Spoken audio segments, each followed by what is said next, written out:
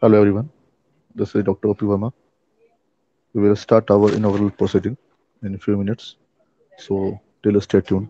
Thank you.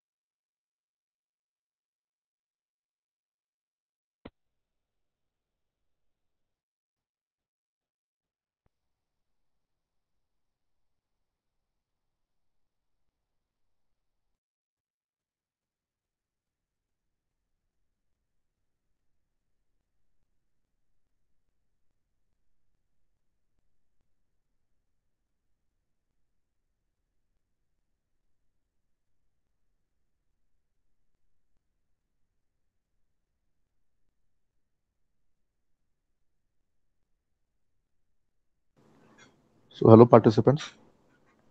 We are going to start our inaugural proceeding in few seconds.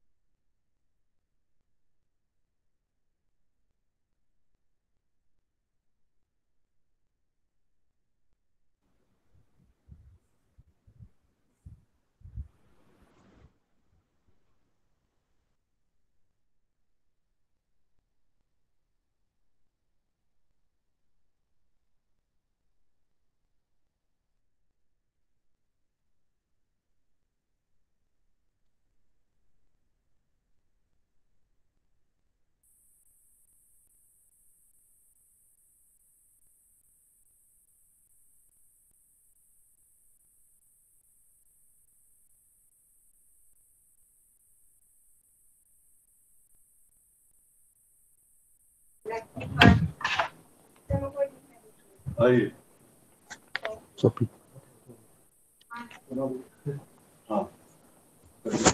yes, sir. Yes, sir. We can start.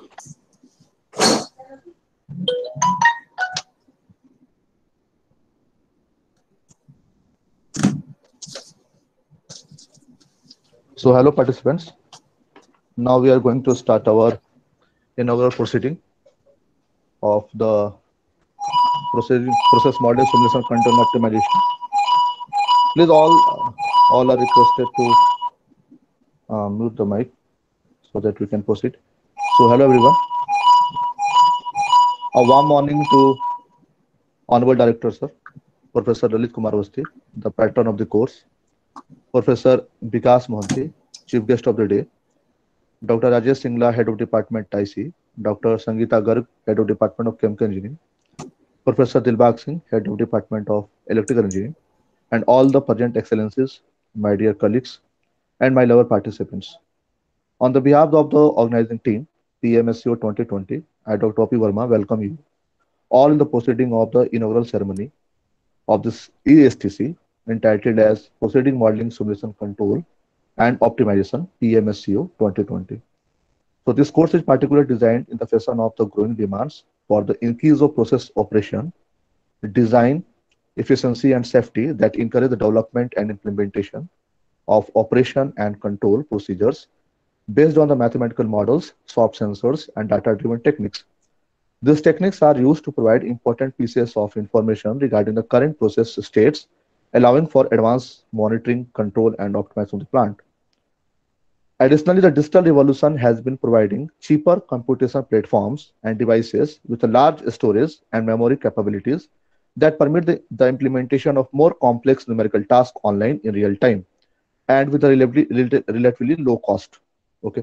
So this five ESTC, process modeling, simulation, control, and optimization, will focus on the latest novel advances regarding the development, implementation, and use of the mathematical procedures for modeling, monitoring, safety, control, and optimization of particular chemical plants. So now I'd like to invite our head, Department of IC, Dr. Rajesh Singla, to welcome the audience.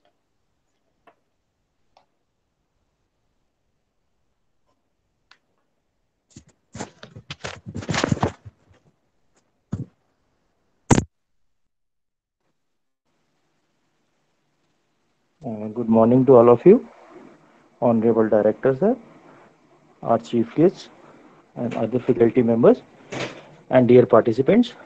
I, Rajesh Singla, on behalf of Instrumentation and Control Engineering, welcome you all for this particular course, which is being organized jointly by Electrical Engineering Department, Instrumentation and Control Engineering, and Chemical Engineering Department. Now, regarding this uh, uh, department of instrumentation and control engineering, we started with uh, only BTech program in 1989, with first pass out batch in 1993, with only BTech students when this NIT was as uh, was REC Jalandhar, and then with the passage of time, from the strength of 30 students we have increased to the strength of more than 100, somewhere around 115 students in BTech. And with the, uh, again in 2002, with that Parliament Act, this uh, REC was changed to NIT Jalandhar. We again started with the MTech programs, full time, and PhD programs also. Right now, we are having all the three programs running uh, BTech, MTech, and PhDs.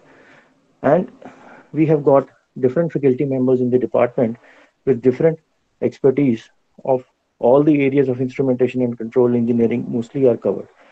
Like in process control biomedical engineering robotics virtual instrumentation sensor networks etc so regarding this course this course is being organized by uh, dr rupi verma uh, from our department so this course is particularly, I think, helpful to those people who work in the area of process control, mainly in modeling simulation, then different control techniques and modern optimization techniques. So the set of the speakers that has been selected, I think they have agreed to provide a, uh, a good talk on the particular areas. And I am pretty sure that after this course, after attending this course, all the participants will definitely get an addition in their knowledge. And I wish all of you a very uh, best of luck for your future course. Thank you. Thank you, sir, for your kind words. So now I'd like to request uh, our worthy director, sir, to address the audience. Before that, I would like to introduce a man of inspiration, our worthy director, Professor L.K. Awasthi. Professor L.K. Awasthi has been directing the institute since 2016 and under his leadership, the strength of our institute in terms of quality as well as quantity, both have been improved. Under his leadership, 150 plus faculty members have been recruited in the last three years, and the quality of the education may be judged by significant improvement in NIRF ranking from 113 to 52 in 2020. Recently, his leadership, NIT Jalandhar has been placed in the band of 11th to 25th rank by the AICTE MHRD for Atal uh, ranking so in the first band of the ranks from 1 to 10, only NIT Calicut has been placed. In the second band, NIT Jalandhar has been placed along with the old and prestigious NIT, IIT and IIM, including NIT Trichy, NIT Rourkela, NIT Warangal, NIT Surathkal, IIT BHU, IIT ISM, IIM, uh, and others. We have set many milestones under his leadership of our lovely director, Professor L.K. Awasthi. Thank you, sir, for the unconditional support. I heartily welcome Professor Awasthi to, to address the audience. Sir, please proceed. Good, good morning and greetings from NIT Jalandhar. Uh, Professor uh, Bikash Mohanty, the chief guest for this inaugural function from IIT Roorkee, and uh, the head of department, Dr. Uh, Rajesh Singla, the coordinators, Dr. Om Prakash, Dr. Deepak Sahu, Dr. Vivek, uh, Professor Dilbag, Professor M.K. Jha, and Dr. Pramod, and many more uh, faculty members who have joined this uh, online inauguration. As has been earlier said, this uh, institute uh, came as REC in 1987 and started with the humble beginning of 100 students. And thereafter, the institute was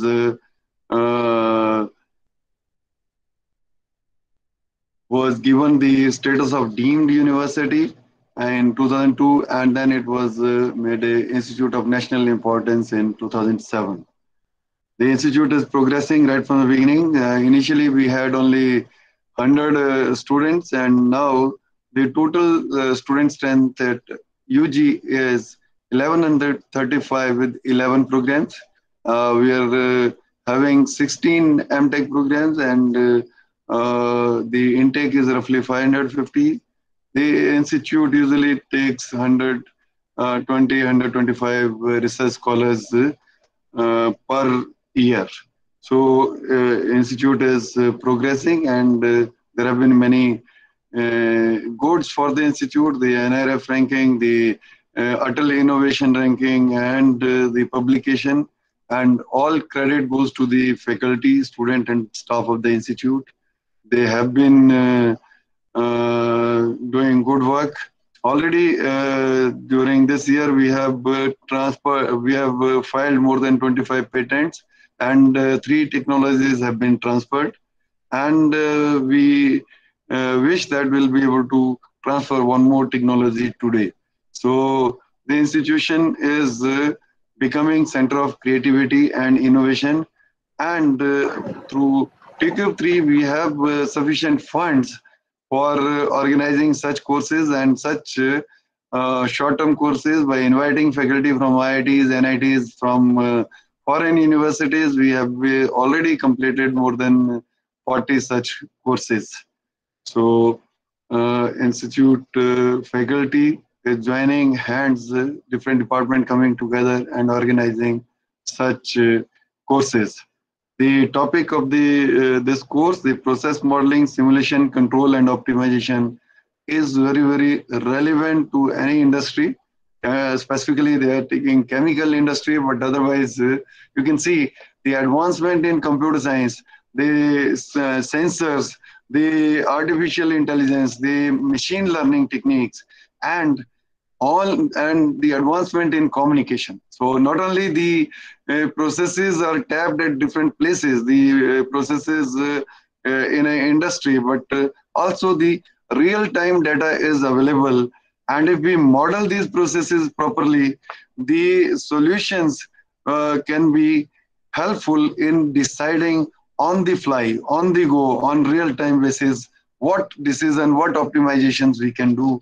By doing so, a lot of advancement uh, improvements can be done in the efficiency.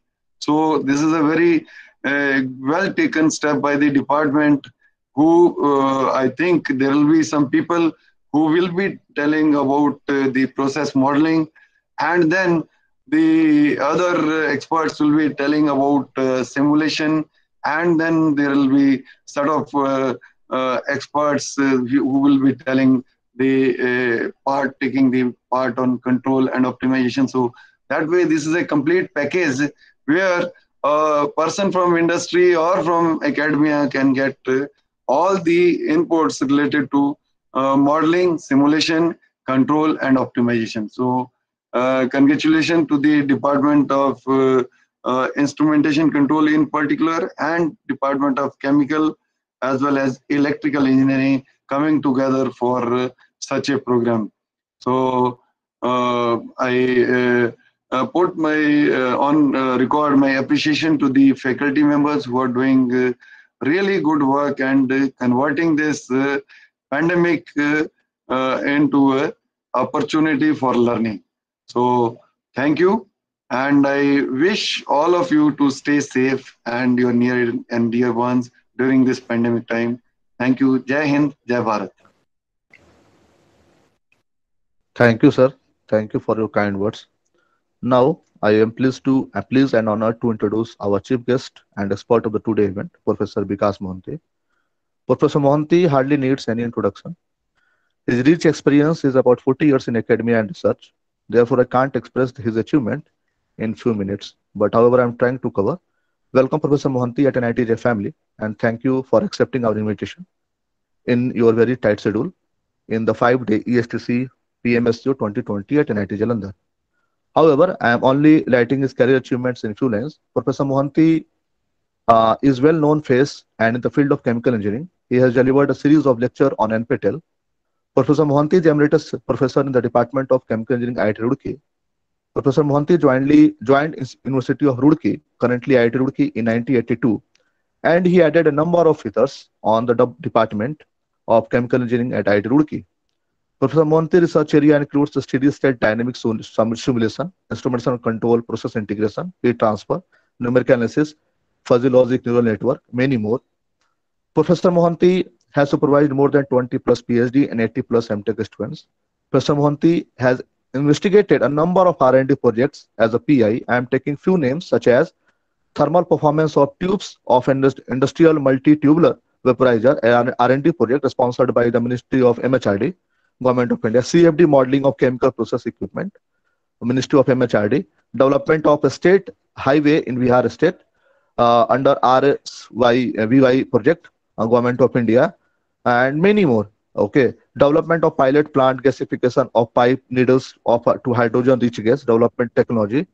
Okay, and carried out R&D project on a study of effectiveness of a spray system for iodine and heat removal from primary containing during LOCA by nuclear NPCIL Mumbai worth of rupees 1.23 crore and so many. Professor Mohanty has awarded a star performer for the year 2003 to 4, 4 to 5 and 5 to 6 at IITR. Moreover, Professor Mohanty has credit to develop Center for Computerized Industrial and Process Control, one of the first area in, identified by the MHRD, Department of Education, Government of India, financed by MHRD. He has a credit of publishing more than 300 research paper, including journals, book chapters, and conference paper. Let us welcome our keynote speaker of the day, Professor Mohanty, once again. Uh, once again, thank you, sir, for accepting our invitation. I'm damn sure that our participants, as well as the YouTube viewers, who will really need, who will need such kind of knowledge, will get benefited after this lecture.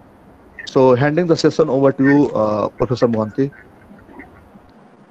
Yes, yes. Good morning, Dr. Mohanty. Uh, here, Dr. Sangeeta Garg is here at Chemical Engineering Department. Sir, sir, I welcome you to this uh, this talk, and uh, thanks also for sparing time for us for the Department of Chemical Engineering. Thank you very much, sir. Thank you, and and welcome, sir. Yes, sir. Thank you Professor- all. Huh. Uh, thank you to Deepak Sahu, Om Prakash Verma, Sangeeta ji, and my very old friend MK Jha. You know, I used to visit uh, your department a lot during the period of MK Jha. He used to invite me at that time. So your department is a known face to me. So I'm very happy that uh, you have again called me to deliver this talk. So without uh, spending much of a time, let me start my talk. Thank you.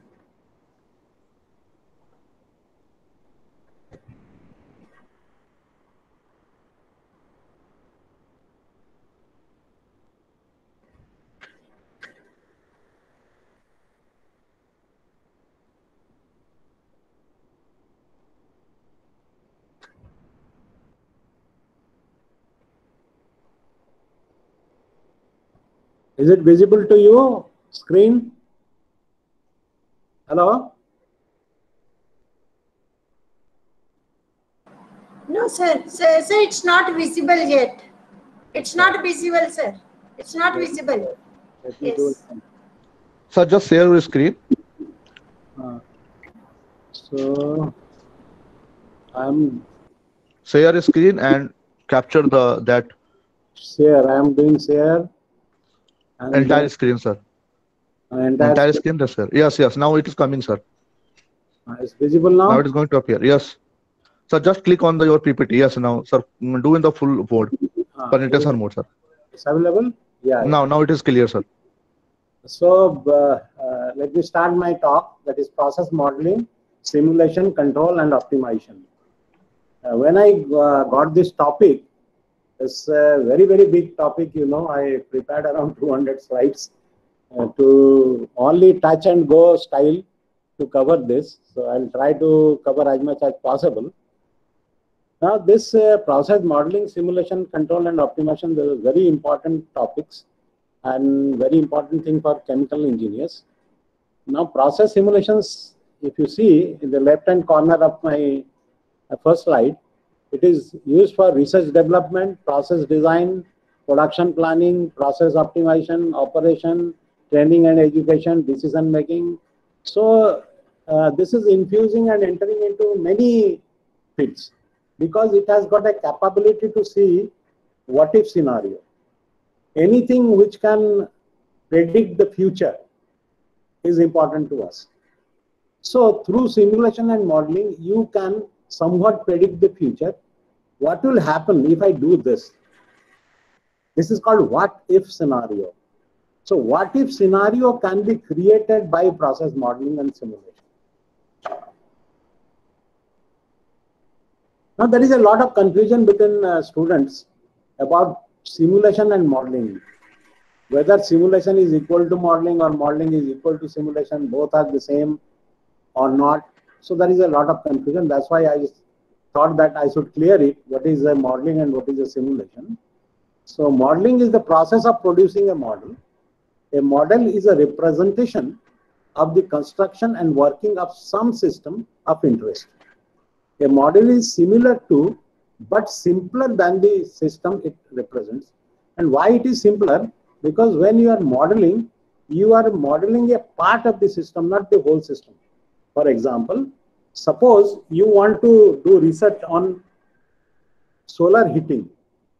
So you are interested only in the heat part of the sun, not on electromagnetic part, not on the mass part, gravity part, and other things. So when we model, we model a part of the system, not the whole system. And that's why in many cases, models are simpler than the actual system. One purpose of a model is to enable the analyst to predict the effect of changes to the system. Actually, when we model, the first thing we do is the model validation. Once the model is validated, then we start playing with the model and start producing what if scenarios. That means what will happen if I change this? What will happen if I change that? On the other hand, a model should be a close approximation to the real system and incorporate most of its salient features. A good model is a judicious trade-off between realism and simplicity. When we are making a model, a trade-off between realism and simplicity is very necessary because if you are creating a very complicated model, then solving it becomes very complicated. So in many cases in the model, we take assumptions to simplify it. But when we uh, take assumptions to simplify it, there is a departure of the model solution from the actual. So we have to keep this departure in mind and simplicity. So a trade-off between these two has to be balanced when creating a model. An important issue in modeling is model validation. You can create a very complicated model, but if it is not predicting the actual data, it is not validated, so the model has got no meaning. Howsoever complicated it is. Many people do a very complicated modeling, but if the results are not good, that is, it is not validating the actual results, then model will not fetch any credibility. Model validation techniques include simulating the model under known input conditions and comparing the model output with the system output. Now, after validation, only what if scenarios will be created. Many people do without validating, they start creating what if scenario. It should not be done. Once you validate the model properly, then you should go for what if scenarios. What is simulation? A simulation of a system is the operation of a model of the system. In its broadest sense, simulation is a tool to evaluate the performance of the system existing or proposed under different configurations of interest and over long periods of real time.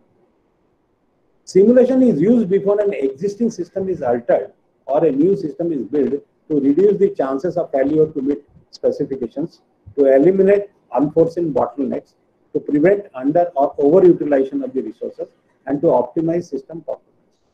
Basically, once the model is ready, we go for the simulation. And simulation is very necessary because what if, what if scenarios are answered through simulations? Suppose you want an improvement, we run the model and see whether the improvement can be done to the existing system.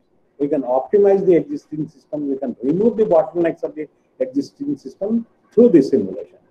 So, simulation is sometimes used interchangeably with the model, which is wrong. But in reality, simulation is the result of running a model. So, the model comes first and the simulation after that. Now, when we are doing modeling, we should think of multi-scale approach in modeling. Because when we are modeling, a lot of scales are involved in that model. Like here I have given, say in the atomic level, when you are working, you are going for ab initio modeling, then you are going for atomistic modeling, then you are going for continuum modeling, and then uh, you are going for say CFD or other uh, modeling purposes. So when we are doing modeling of a system, we are passing through multi-scales.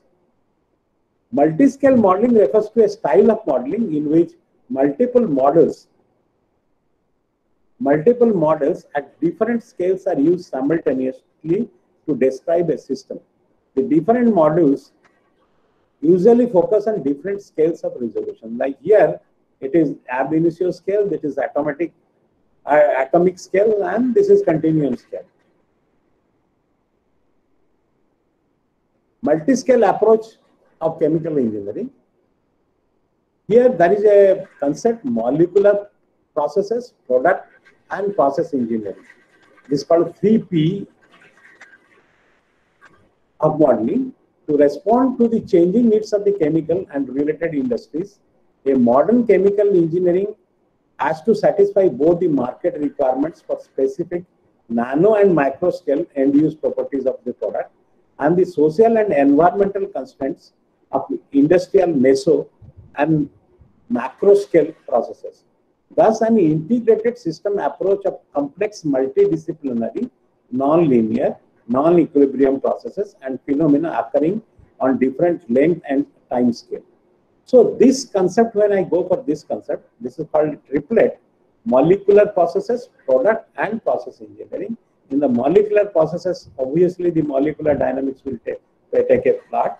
Product, we, the chemical engineer will take a part. And in the process engineering, the process engineers will take a part. Now I have a beautiful uh, movie, small movie, short movies, which tells about the scale of universe. So you please enjoy it. It tells that from 10 to the power minus 30 to 10 to the power plus 30 scales are available in this universe. So please enjoy.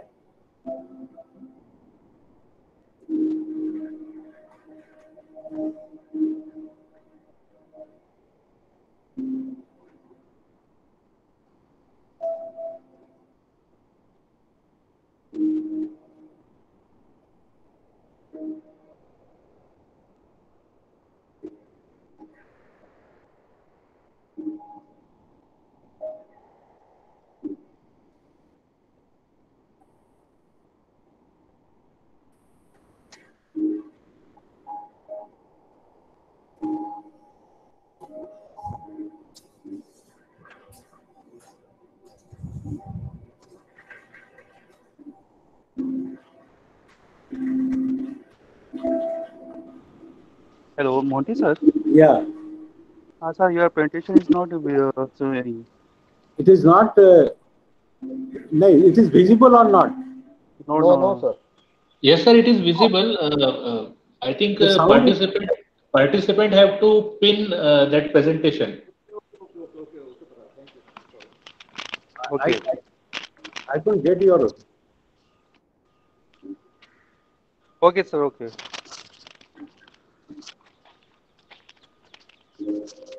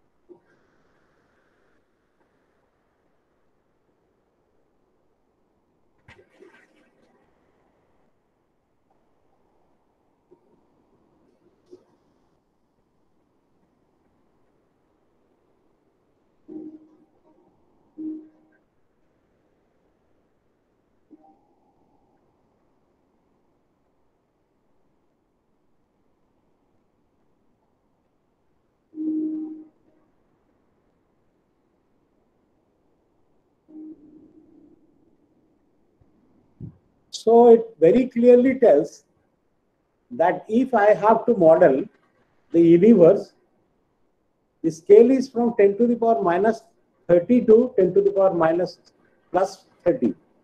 So this many number of scales are there in the universe. So if I want to model the whole universe, then I have to model all these scales separately and join them together. Now here I have given the length and time scales covered in multi-scale analysis. Now, if you see here, in a plant, the length scales are say 10 to the power 2 or 10 to the power 4, and time scales are 10 to the power 4 seconds. But the same thing if you go for the molecular or electronical items, then the length scales are 10 to the power minus 16, 10 to the power minus 10, and time scales are also 10 to the power minus 16 to 10 to the power minus 14. So we see that different uh, things operate at different time and length scales. And when we are modeling it, we keep this in mind if I am going for a multi-scale model. Now here I have given the plant can be of a few meter to some hundreds of meters and corresponding process time may be from days to years. The reactor residence time may range from hours to a, for a slow reaction to milliseconds for a fast reaction. The fluid transport length can be meters in liquid mole distribution in a trickle bed reactor to micrometers in a turbulent flow. It may go to Angstrom if diffusion in the zeolite is considered. In catalyst, we may be interested in a single molecule as a homogeneous catalyst or a multimeter size silica alumina catalyst. So we, when we are modeling it, we pass through multiple scales and then we model for each scale and with the boundary conditions we join these scales and we go for a bigger sort of a modeling. This will be clear in few slides, more slides. Now let us take a case here. This is a reactor.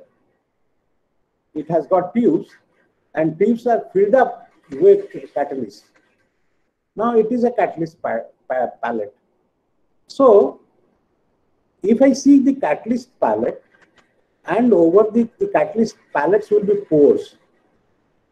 So if I enter into the pores, then I have to see that whether my reactants are able to enter into the pores, what size of the pores will be activated for these reactions, and how the diffusion process will take place, how the uh, uh, the reactants will enter in, into the pores and react with the catalyst particles there. If I enter further, then I have to go for molecular interactions with the forces of the catalyst, which are on the surface of the metal, and the forces of the molecule. So, if I try to model the catalyst particle itself, then I have to go for molecular modeling as well as I have to go for the diffusional resistances, etc. Then this comes into the tube. So there are many such catalyst particles. So then I have to design or I have to model all these catalyst particles mixed together. Then when this is put into this, there are many tubes and their coolants are also flowing. I have to model for this also. So we here we see that three or four scales are available if I want to model a catalytic reactor. So when I move in these directions, the model details are increasing. And if I move into direction, the increased time and space scales is taking place. Here we see that we start from the molecules, then molecule clusters, particle thin films, single and multi-phase systems, process units, plants, sites, and enterprises. Like this, the scales are increased.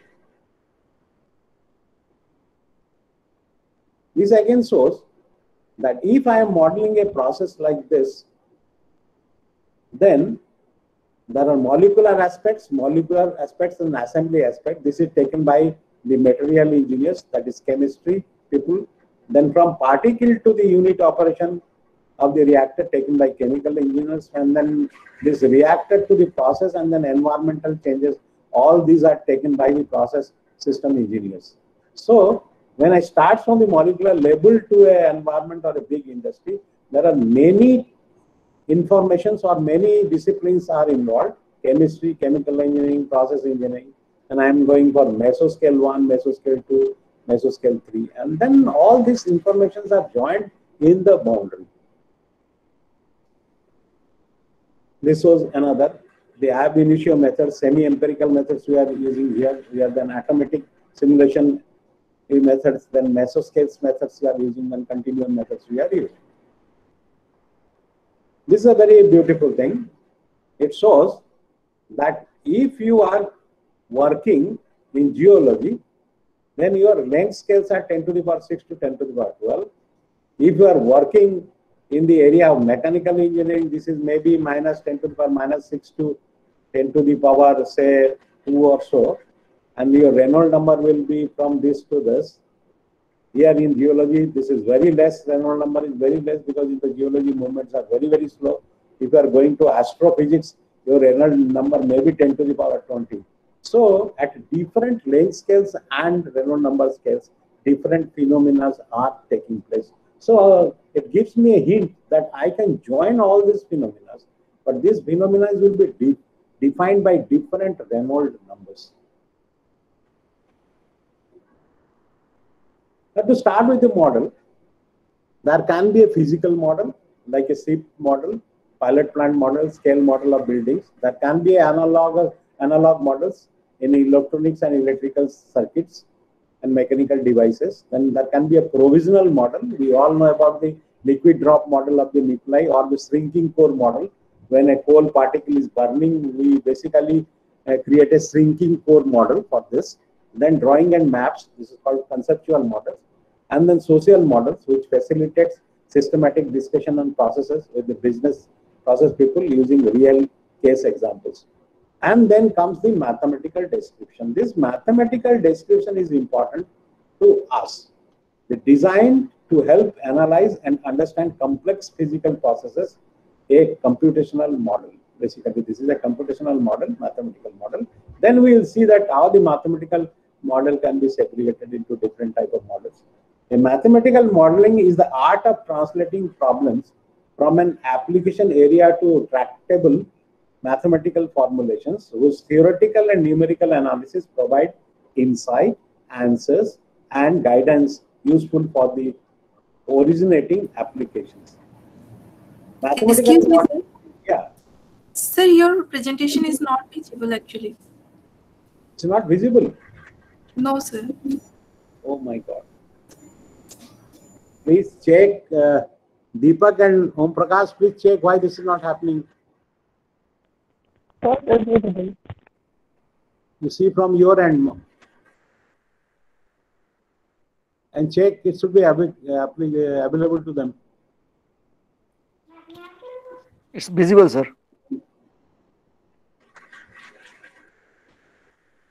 Uh, sorry, it's not visible.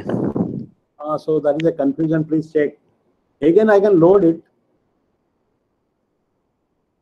Actually, I am also not able to see the. Uh, जो बोल रहे हैं ना वही is it visible? No? Have you saved the screen, Not at not at visible, sir. Oh my God. Dr. Nitin? Sir, it's not visible. Dr. Nitin? Dr. Nitin? you check with your end. Okay, okay. From my end, if it was visible, then from my end it is all right. There's something happening in between. That's it, please. Better, better, please. So again, I am loading my. Just check.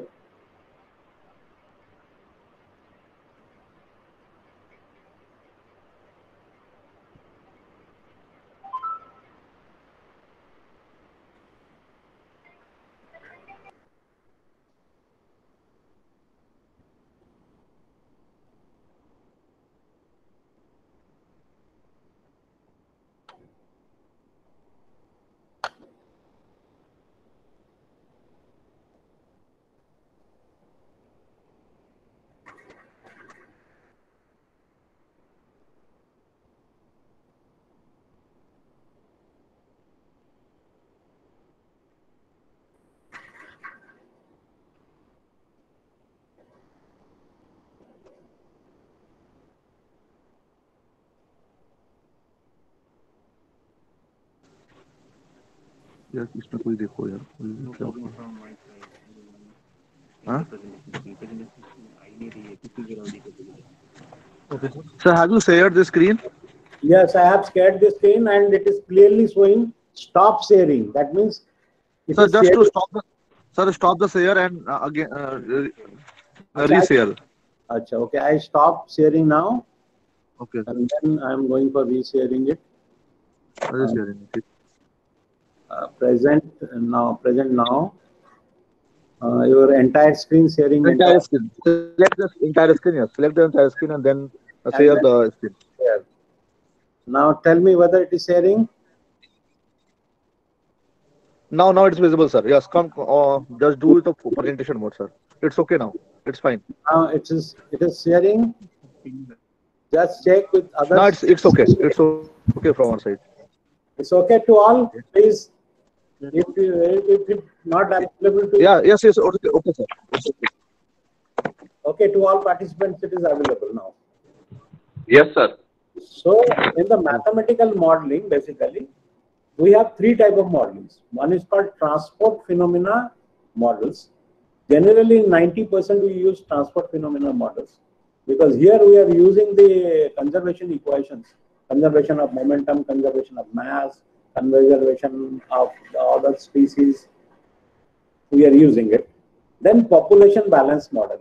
This model has been created for growth and decay of population. So in biotechnologies where uh, microbes are growing and dying continuously, or in crystallization when crystals are uh, growing and decay of crystals is taking place also, all those in situations when there is a population and population is growing and decaying, if I use a model then it's called a population balance model. Then we have empirical models. When there was no transport phenomena model, then empirical models were there. And now people claim that uh, the uh, there is a, a, lot of debate whether the technology moves faster than science or science moves faster than technology. In many cases, there is a argument, and people say that technology moves faster than science. When there was no science to make fire, then technology was there to make a fire. When there was no science how to make a uh, build a house, there was a technology. Based on that technology, people used to make a house. Now that technology which has been developed was based on empirical models. If I keep this thickness of, of a stone, then it may bear this much amount of load. So by experience, we are learning this. And those experiences, which are in empirical forms, were used to develop the technology. So three type of models we see, transport phenomena models, population balance models, and empirical models.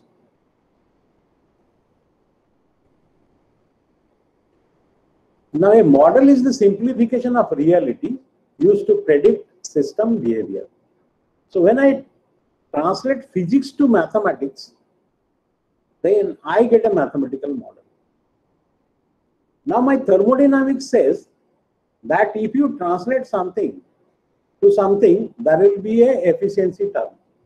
If I'm converting mechanical engineering to electrical, electric, mechanical um, uh, force to electrical force, so there will be a efficiency term.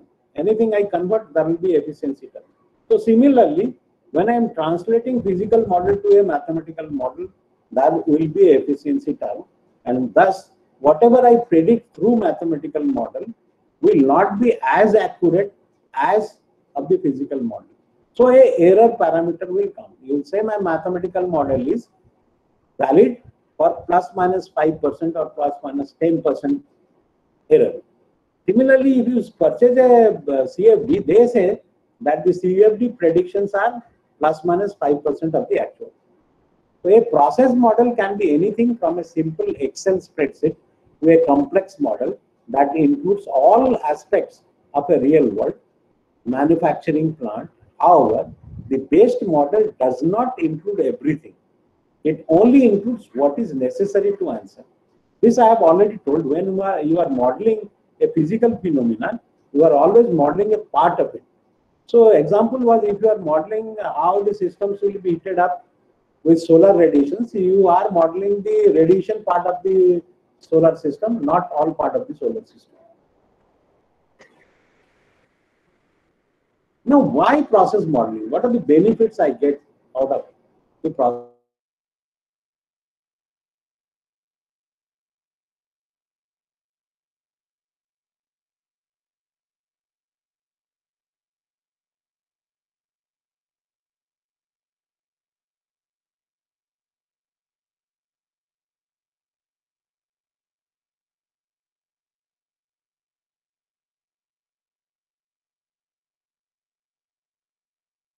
Thoroughly than in real plant.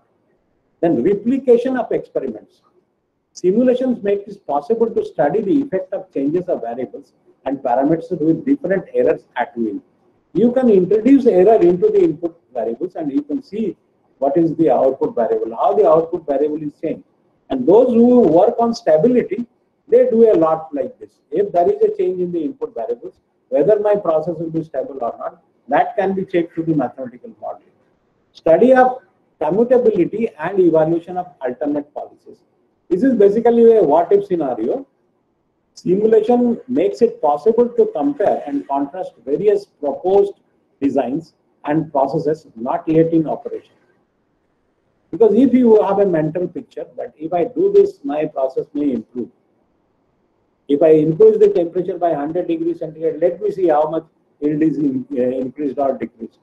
Now, if you have such questions, these questions can be answered through mathematical modeling.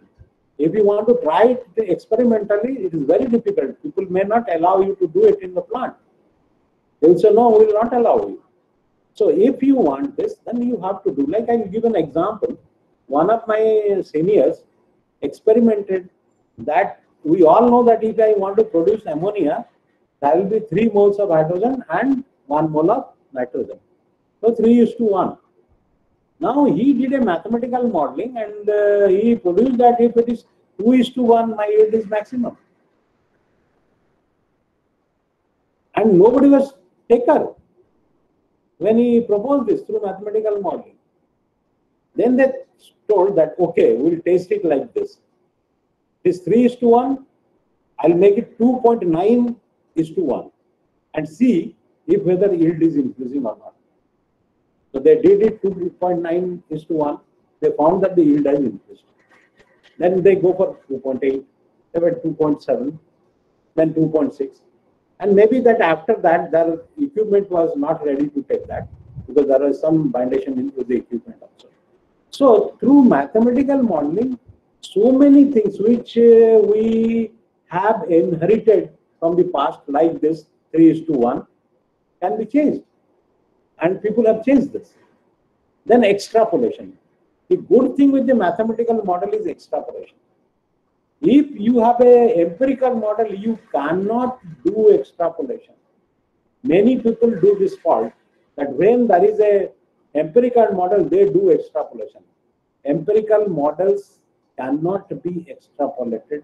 It can only be done intrapolation. And when I say extrapolation can be done with the mathematical modeling, that means obviously I can do scale up using mathematical modeling. So one very positive thing with the mathematical modeling is that if you have developed a very good mathematical modeling, you can do scale up. And you, those chemical engineers know scale up is very, very difficult. There are a whole theory behind scale up. And if you want to do the scale up, you have to go for the regime matching. And there are many um, dimensionless numbers, they have to be matched. But if a mathematical model is there, then it is very easy to do scale up. Then computer control. If you have a dynamic model, then it is very easy to do computer control. So simulation aids materially in the study of closed and open loop computer controls can be done. Sixth is test of sensitivity. You can do sensitivity test. The sensitivity of post parameters and basic system parameters can be done. done. Study of system stability. You can also study system stability. Like I'll give an example. When we go for the design of HEN, that is heat exchanger networks, after designing the heat exchanger network, we go for the stability study. We, because heat exchanger network is designed based on static parameters. That means this stream will be heated up from 100 degree to 200 degree system. When I say 100 degree, 200 degree, it is a static temperature. It is not a dynamic temperature.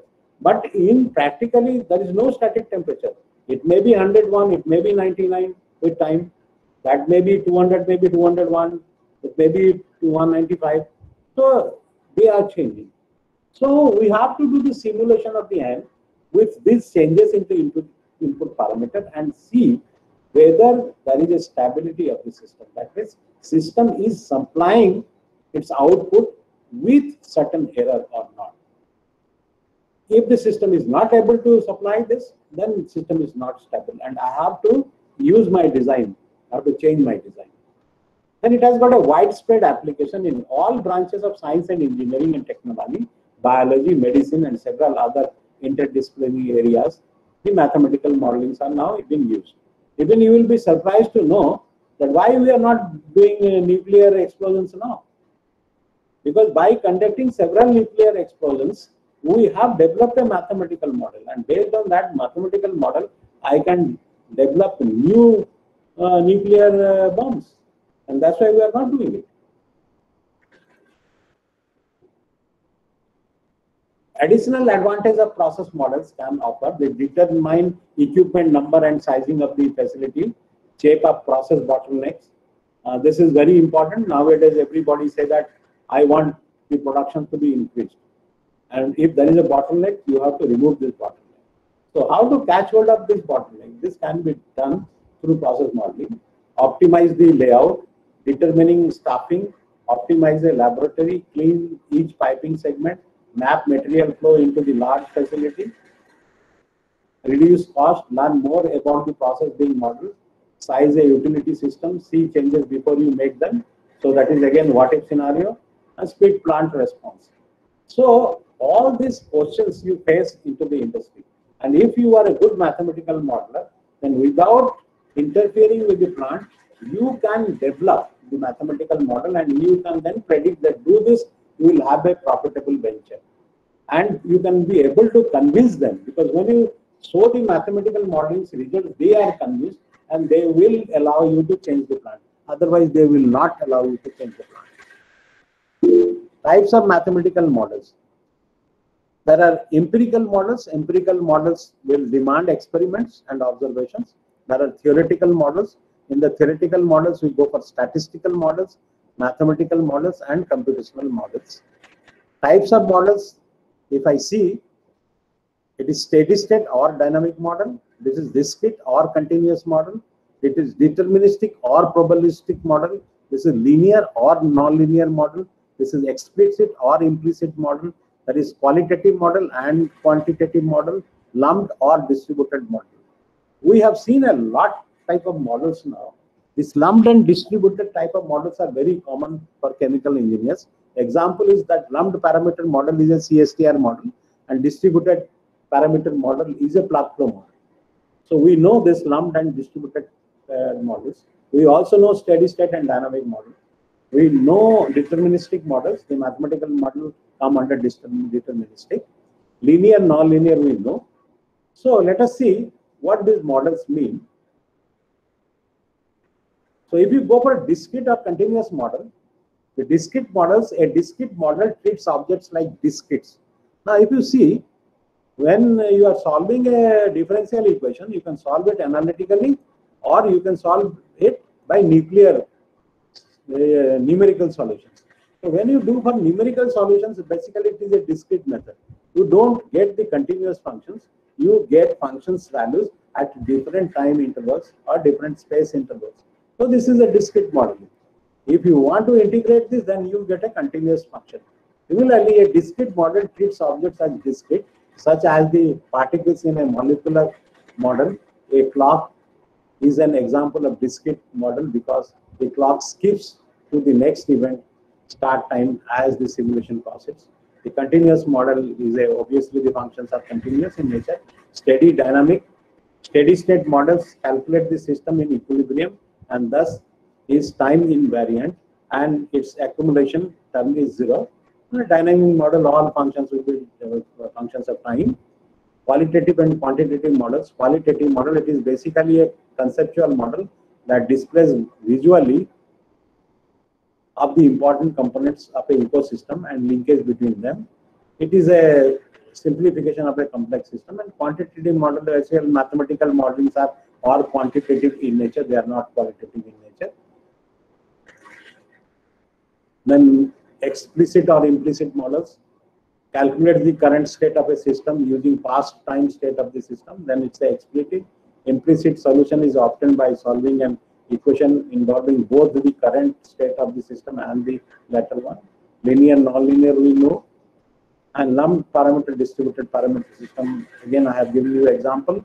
Lumped para lumped systems, they are the the parameters are not function of spatial coordinates. In distributed parameter system, the functions are uh, the parameters are a function of spatial coordinates. Here only the lump parameter, the parameters is a function of time. Deterministic versus stochastic models. In deterministic models, the output of the model is fully determined by the parameter values and the initial conditions. So that this is a mathematical model or a transport phenomena model. In stochastic model possesses some inherent randomness. The same set of parameters values and initial condition will lead to an ensemble of different outputs. Even if the, you put the same inputs, your outputs may differ. If you put a error into the inputs and outputs, your output the error into the inputs, then output will be different.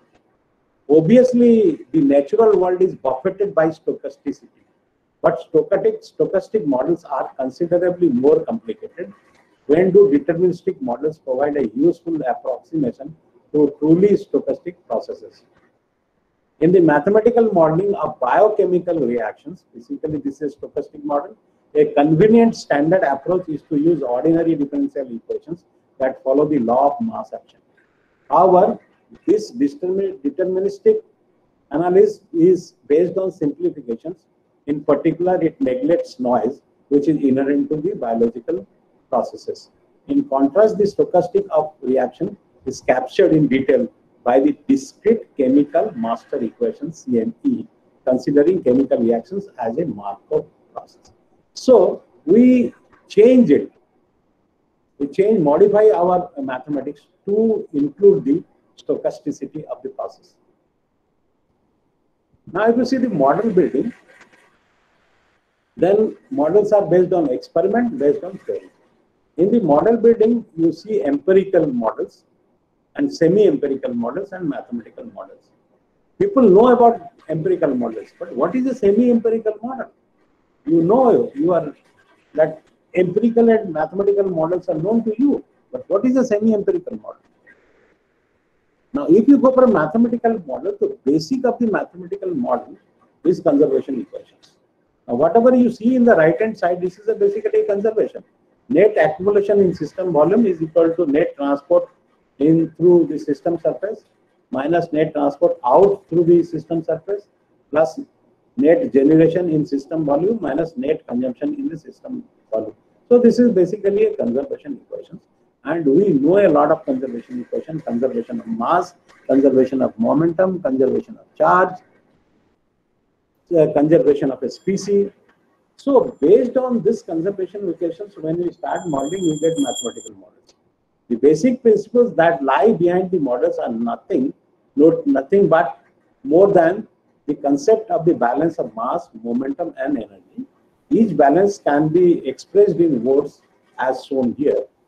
The general objective in model building is to replace these words with mathematical expressions that are as rigorous as possible and that involves a few unknown parameters as possible. Once we do this mathematical modeling, then we have to add something new. To form a complete model, it is necessary to have a mathematical system, mathematical system, the governing differential algebraic equations, and then the appropriate initial and boundary conditions. So when you write down the conservation equations, you have to also write the initial and boundary conditions. So the conservation equations and initial boundary conditions and boundary conditions makes this model. So this packet makes a model. If something is missing, then it is not a model. So this full packet is a model. Now in empirical equations, dimensionless empirical correlation is fitted based on experimental data. And in a semi-empirical, the dimensionless empirical correlation is developed from conservation equations and then fitted based on experimental data. So these two will require experimental data. Mathematical model will also require for experimental data, but for validation purpose. But for validation purpose, it requires experimental data. Whereas empirical and semi-empirical model building needs experimental data for model building. So this is the difference. Now empirical model building. So let us see. In empirical model building, we start from observation. Observations are, then we go for inductions, then we go for deductions, then we go for testing, then we go for evaluations, and then it goes to the observation. We change the observations. This is an empirical cycle, how the empirical model is built.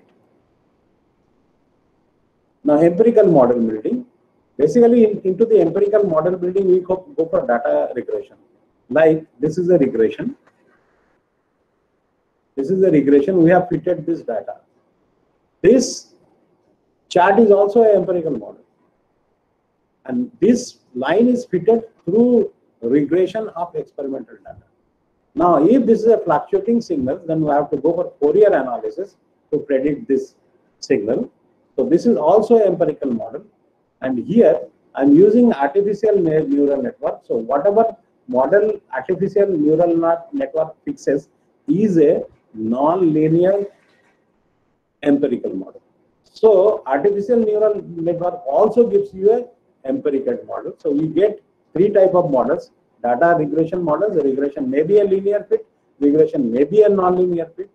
Fourier series is obviously non-linear because Fourier, Fourier series itself is a non-linear and the neural network is also non-linear in nature.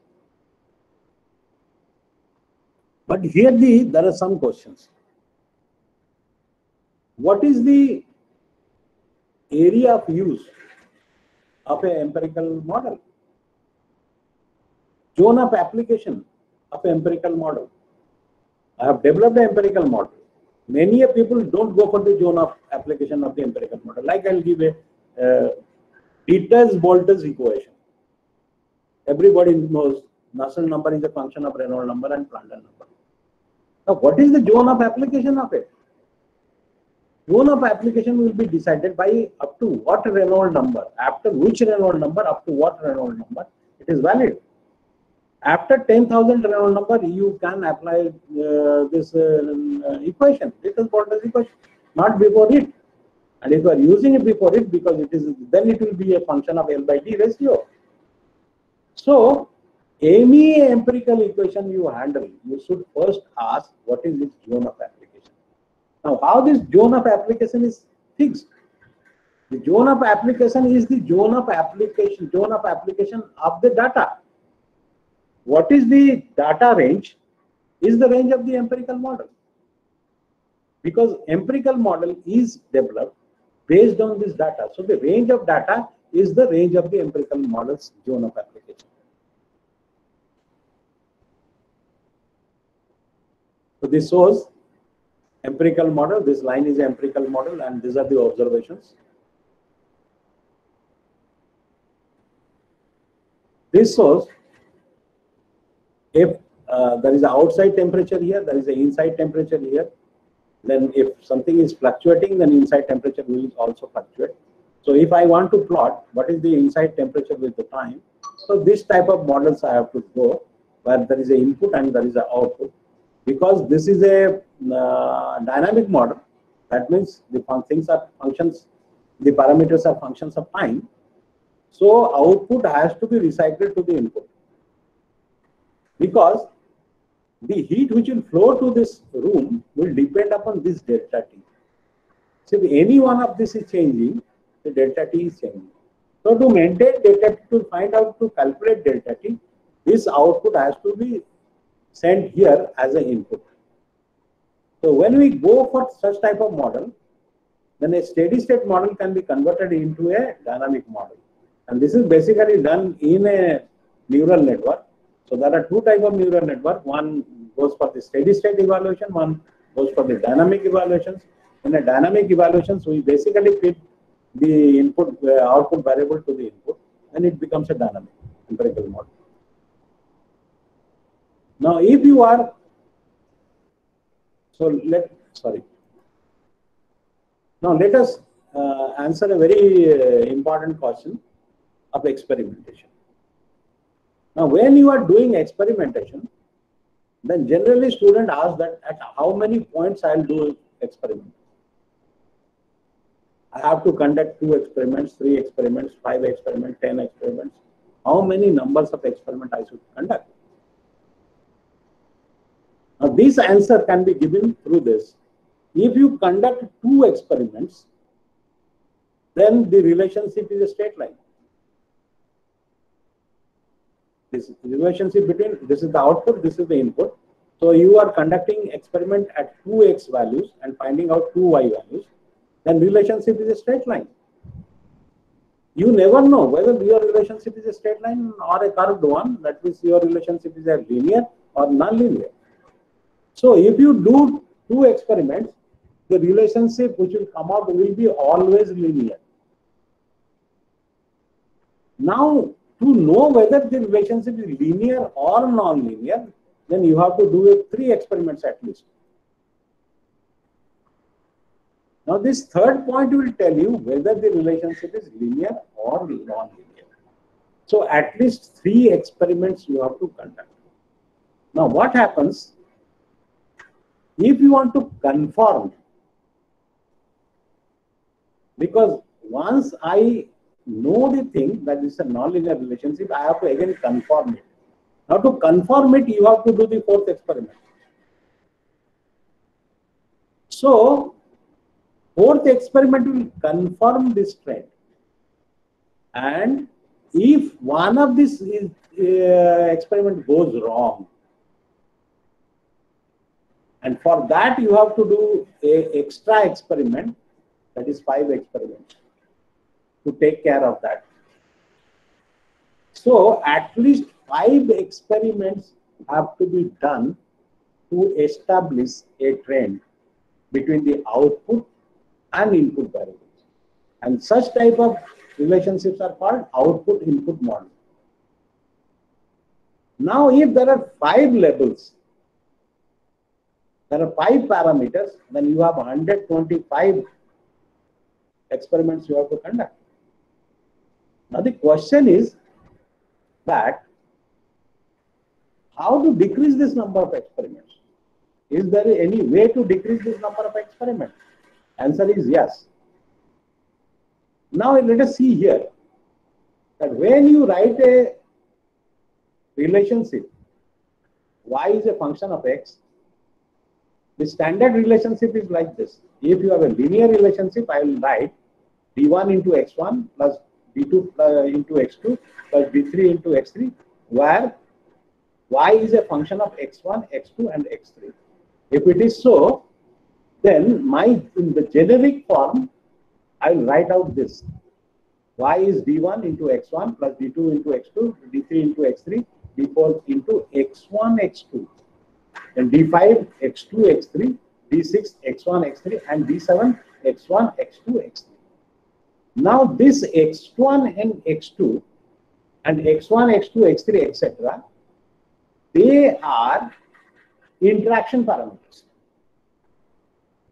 They are interaction parameters. So, when writing out a functional relationship, I should go for second order interaction terms and third order interaction terms. And when I feed my data, then obviously some if there is no interactions or no second order interactions, suppose x1 and x3 interaction is nil, then d6 will tend to 0. So when I do statistical analysis based on this functional uh, relationships, many constants will go to 10 to 0. And from there, I will know that this interaction is not taking place in my system. Similarly, if you want to write down a nonlinear relationship, then you may write down line like you may write down like this d1 x1 square plus d2 x2 square plus d3 x3 square d4 x1 x2 d5 x2 x3 d6 x1 x3 and d7 x1 x2 x3 so all these are interaction parameters and this is a nonlinear relationship with this x1 x2 and x3 so both you can try a linear one and a nonlinear one and the error term will tell you whether the relationship is linear or nonlinear so if in a nonlinear functional, you get a error which is very less, then you will accept that. If in linear the error is very less, you will accept that.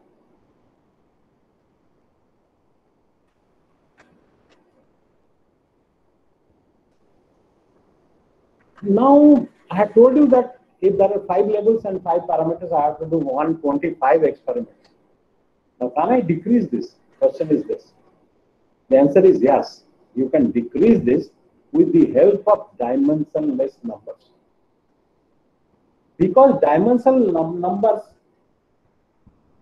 is a group of parameters. So when the group of parameters is there, so number of variables are decreasing. And once I am able to decrease my number of variables, substituting dimensionless groups, so my experimentation will be less. So like this, by doing the dimensionless numbers, I get less experiments. So a dimensionless number is a quantity without any physical unit and thus a pure number. Such a number is typically defined as a product or ratio of quantities which do have units in such a way that all units cancel. It has the same value regardless of the measurement units used to calculate it. It has the same value whether it is calculated using SI system of units or empirical system, imperial system of units. So in, the value of Reynolds number will not change if you change the unit of dV, rho, and mu. So any unit you take, the dimensional number will be the same. So it is generally represented as m to the power 0, L to the power 0, and T to the power 0. Like Reynolds number, it is a ratio of forces, inertial force divided by viscous force. It is dV rho upon mu. So its unit is m to the power 0, L to the power 0, and T to the power 0. We have invented dimensionless number to be able to take our knowledge from experimenting with one system to learning about another system with different dimensions. When you are going to develop empirical equations using dimensionless numbers, then you can use it for other dimensions. For example, if you have experiment, that a experiment of internal heat transfer in a 2 inch pipeline and you are developing a equation based on dimensionless numbers like Dittus-Boelter's equation. Nusselt number is a function of Reynolds number and Prandtl number. Then the result of the 2 inch pipe can be very effectively used in half inch pipe, 1 inch pipe, 1 quarter inch pipe, 3 inch pipe, 4 inch pipe, 6 inch pipe. But if you hmm. are, yes, yes, please. But if you are creating a dimensional equation, then you cannot apply to a different dimension. So this is one benefit that if I am going for a dimensionless equations, it can be used for other similar experiments with other dimensions. Uh, for example, if I have come up with some neat formula for calculating the pressure drop in a 2 inch pipeline, I can use the same formula for 4 inch pipeline. In a way, we are trying to get rid of dimensions in order to extend our knowledge beyond its source of acquisition. Source of acquisition means the one in, on you, which you are doing the experiment. That is source of acquisition.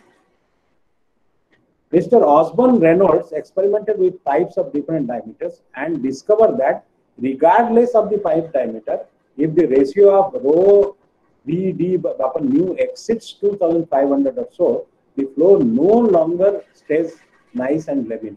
This ratio is what we call Reynolds number and is probably the most commonly used dimensionless groups in fluid mechanics. Dimensionless numbers allow us to experiment with model cars, aeroplanes, and ships and predict the behavior of the big thing under the actual conditions. All we have to establish is to make sure that there is a similarity between models and the actual thing. So, if I am using the dimensionless numbers, then I can extend my area of applications.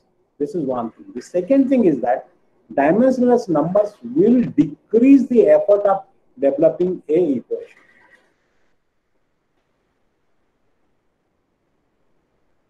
It gives you example flow in a circular pipe.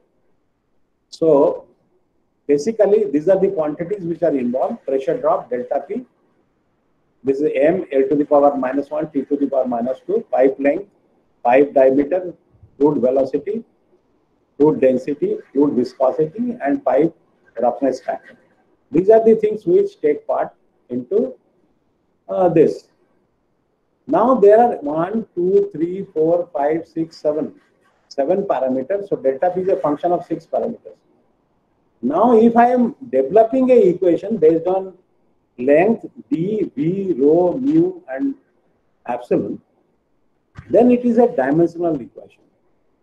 If I am developing it based on the dimensionless quantities, then it is a dimensionless equation, like Dittus-Boelter's equation. So what we see, the parameters that are involved in the pipe flow problems are the pressure drop, pipe length, pipe diameter, fluid velocity, fluid density, fluid viscosity, and pipe surface roughness factor, and total of seven parameters involved. And if I see the basic dimensions, there are three, M, L, and T. So K is three. So the number of dimensionless groups based on Buckingham pi method will be 4, that is n minus k. 7 minus 3 is equal to 4. So the next is to determine the form of pi terms, select diameter, fluid velocity, and density as the repeating parameters.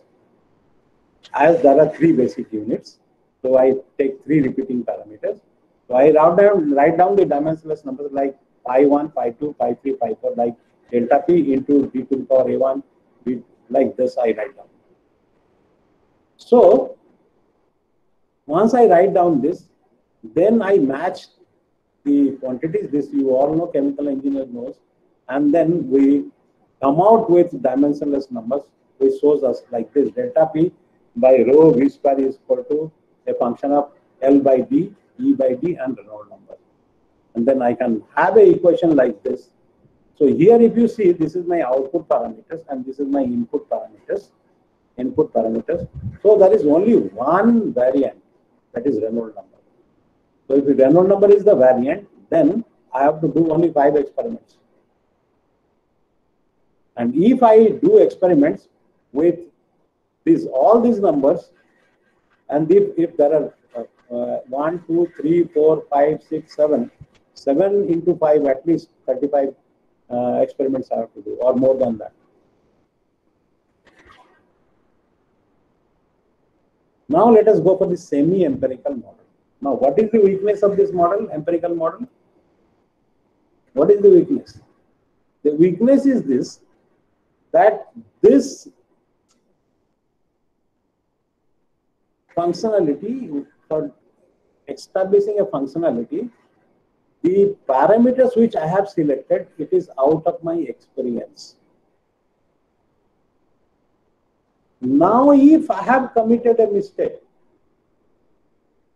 in selecting these parameters, then what will happen?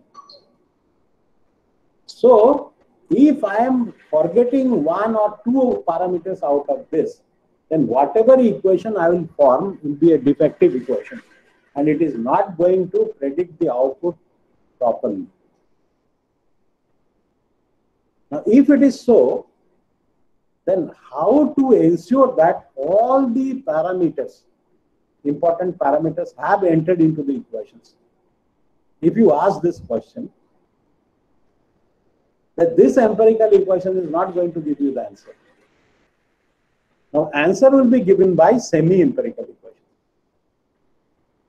Semi-empirical equations give this answer, which tells that when you are taking up the variables, you will not commit a mistake if these variables are selected from conservation equations.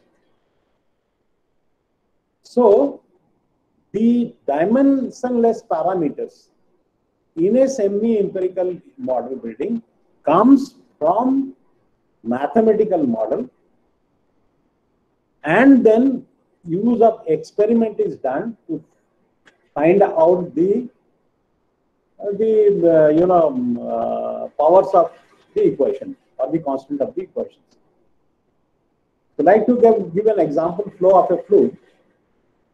The fundamental differential equations for the isothermal flow of a Newtonian viscous fluid are the Navier-Stokes equations. So I can write down this Navier-Stokes equation. This is 1, this is the whole set is 2, this is 3, this is 4, this is 5, this is 6. Now, where mu is the viscosity, rho density, mu v, w are velocity components parallel to x, y, and z axis, t time g expression regarding p pressure drop.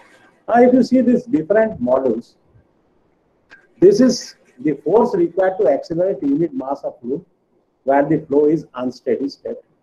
This is transport of momentum by the fluid flowing through unit cross-sectional area. This is gravitational body force. This is static pressure gradient. This is viscous resistance to change of volumes of this and viscous resistance to C. Now, these are the physical explanation of these modules. Now, if I go for the generalized dimensional equations, may be written in this form for all these things. So 1 and 2 are dimensionally equivalent. If you see 1 and 2, they are dimensionally equivalent.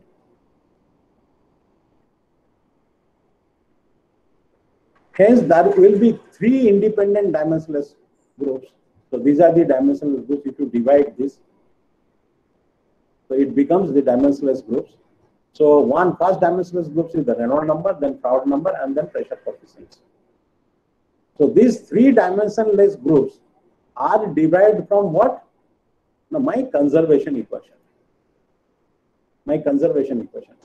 Conservation equations guarantees that you will not leave any variable untouched which are responsible for this physical phenomena that is flow of so these dimensionless numbers are directly from the conservation equations. So I do not have to fear about that whether I have selected properly the variables or not.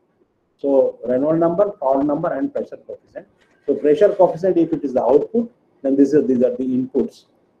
So my correlation is this delta P by rho V square is equal to rho VL, that is Reynolds number, and this is the Froude group. So this is the equation which comes from mathematical model. And then obviously this will be delta P by rho V square will be a constant C1 into Reynolds number to the power another constant and this power third constant. So these three constants will be evaluated from experimental data. So you are using experimental data as well as mathematical modeling. So this type of model when you are developing is called a semi-empirical equation and obviously semi-empirical equations will be better than the empirical equations. But here also the zone of application of semi-empirical equation will be the zone of the data.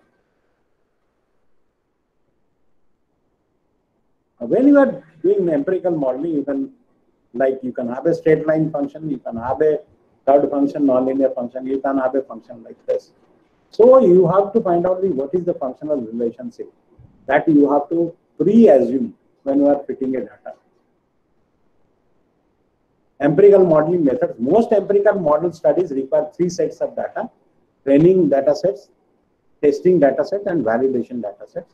Each of these data sets must be assessed or designed to make sure that it is representative of the problem. This is a very important point I will tell you.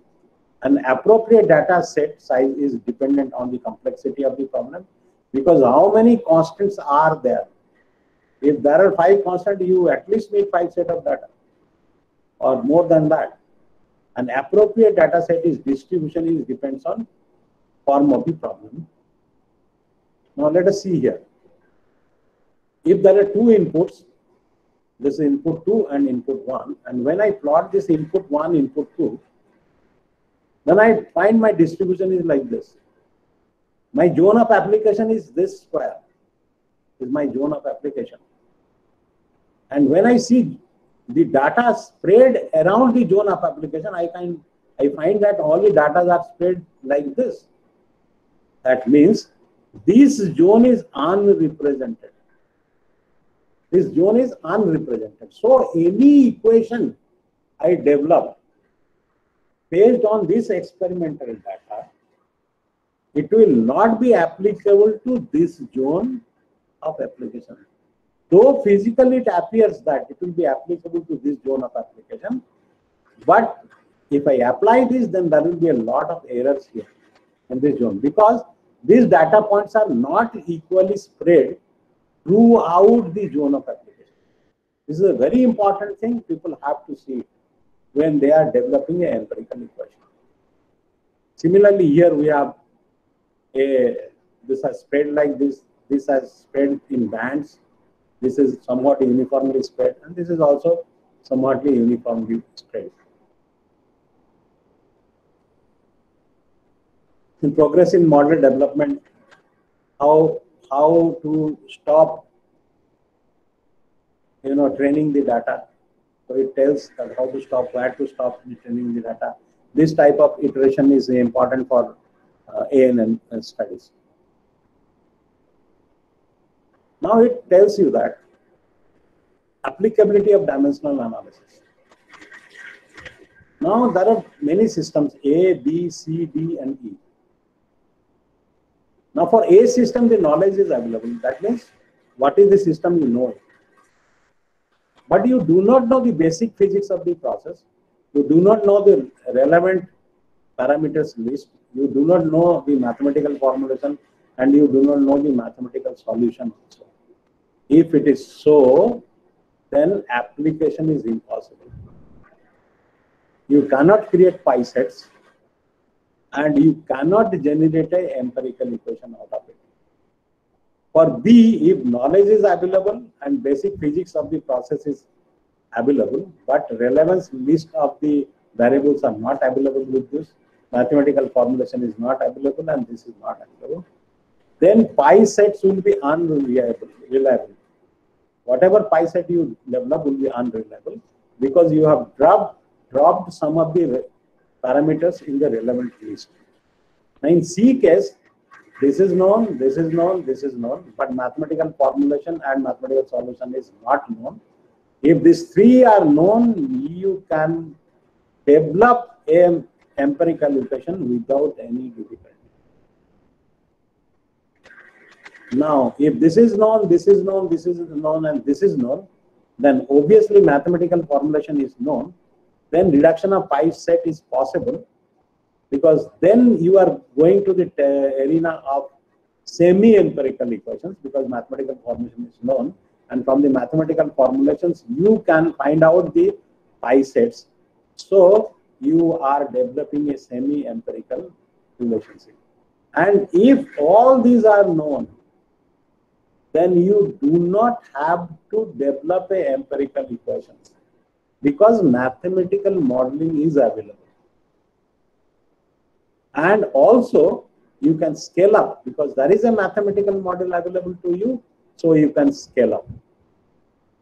But if a empirical equation is available to you, you cannot scale up. Why? Because when you are scaling up, you are going for extrapolation. And extrapolation is not possible or not recommended in empirical equations.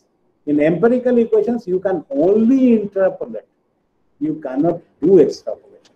And when you are going for a scale up, you are basically going for extrapolations. If there is a uh, 10 liter reactor, you want to make a 1000 liter reactor, basically you are extrapolating. And extrapolation can be only be done through mathematical modeling. And that's why in engineering studies, mathematical modeling is so important. Everywhere, if you go to publish an international paper, they will say, what is the mathematical modeling? You have done the experimental study, you also give a mathematical model to it. Because once the mathematical model is done, the scale up is very, very easy. Artificial neural network modeling, based modeling. Basically, a artificial neural network is a empirical model, but it is a non-linear empirical model. Because whatever model you develop in an artificial neural network, it is a non-linear model. Now, what is the importance of an artificial neural network? It can solve a inverse problem. This is a very interesting thing.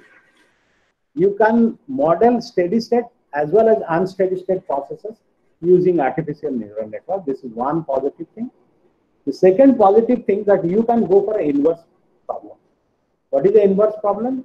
When we are doing mathematical modeling, we are starting from input and reaching to the output. So my model needs input. And if you give me input, my mathematical model will give me output. But if you give output, your mathematical model will not give you input. And if it gives input, it has to go through a lot of iterations. It has to go through a lot of guesswork and iterations, then only it can give you. Directly, it will not give you. But ANN model can do this very easily. If you give them the ANN model a in, uh, output, it can give you input. Or if you give input, it will give you output. Because in these two cases, ANN has to be trained differently. If you do different training, then it can very easily give you a inverse problem. So this is a very important thing with the ANN model. Now here I have solved a problem of ANN.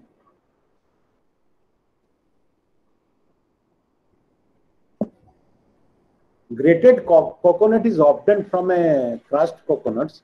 The crushed product is pasteurized and dried to give fine coconut particles with a size of about 3 mm. Drying must confer to a final moisture content of 3%. However, under industrial conditions, it is very difficult to maintain this final moisture, which varies between 1.9% to 4.8%.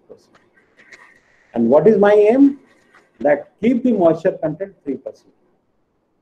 Indeed, a percentage of moisture higher than this value 3% is uh, the preservation of the product becomes uh, probably very difficult due to the proliferation of microorganisms. So if it is more than 3%, you cannot preserve the product. Therefore, re-drying is necessary to overcome this problem. On the other hand, when the moisture is less than 3%, the weight of the grated coconut is reduced, causing an economic waste. Indeed, in the case study, the rate of production rejection due to the failure of achieved stipulated humidity 3% after the first drying cycle is greater than 90%. So the rejection rate was 90% in this dryer. So a second drying cycle and sometimes a third drying cycle is necessary for the same sample, involving supplementary cost and a decrease in productivity. So the company was facing a decrease in productivity and loss in cost. They want to mitigate this inefficiency by modeling the manufacturing process in order to reduce the non-equality as much as possible during the first drying cycle. So their aim was that I should dry it once and get a moisture content which is very close to 3%.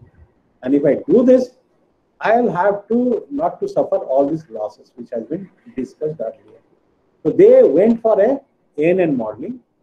So uh, what was the equipment? The firm's principal product is grated coconut in different thicknesses, medium fine. The drying step of grated coconut is prepared in a Proctor fluidized bed dryer composed of three compartments A, B, and C. Its different compartments contain one or two fans each, which blows out hot air into the container where the products are circulated to dry. Now, if you see, the compartment A1 has got two fans.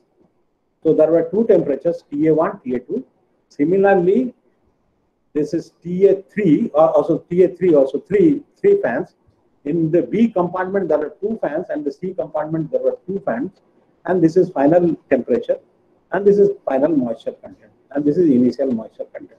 So these were our minimum, these, these were our input variables and my output variable is the final concentration. This is final concentration of moisture. FM is the output variables and these are the input variables. So I'll train my uh, uh ANN based on this. So what is being done? A ANN was developed like this, where initial moisture content TA1, TA2, TA3, and final temperature, all these were input and this is the final moisture content. This ANN was developed and it was trained. So input layer whose number of nodes depends on the input variables, output layer whose number of nodes is equal to the predicted variables and hidden layer, this is called hidden layer between first and two.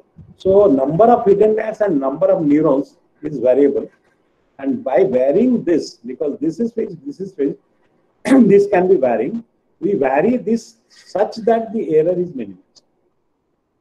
If you do this, then you, you have uh, around uh, how many data points? 159 data points were there, and we have uh, divided the 159 data points like uh, for training 80 data points, validation 40 data points, and testing 39 data points. We have done like this. So we trained it, and for a minimum uh, error. So uh, by different hidden layers, we have gone for different hidden layers. And then we found that there is a certain uh, uh, model which gives you the best.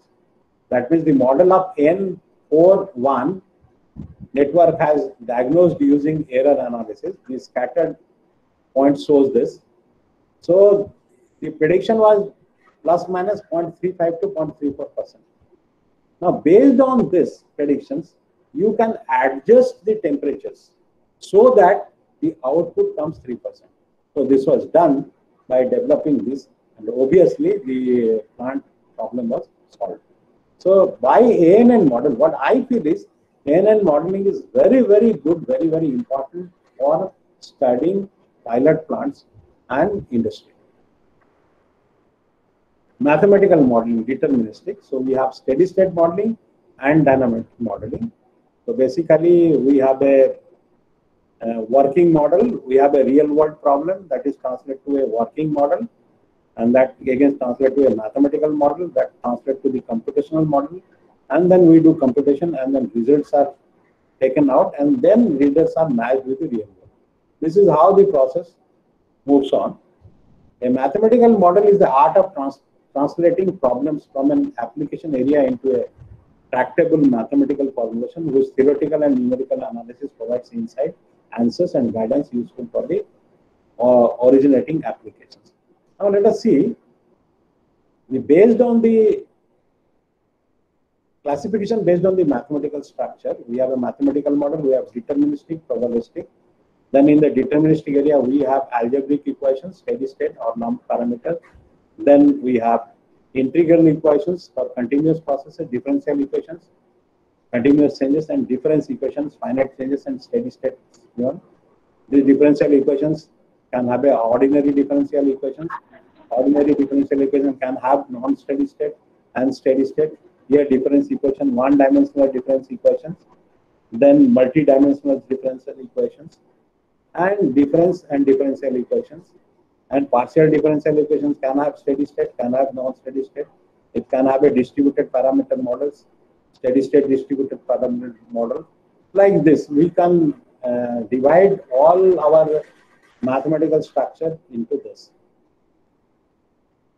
Then if I go for a um, um, uh, model, the mathematical model, then we have such type of mathematical models.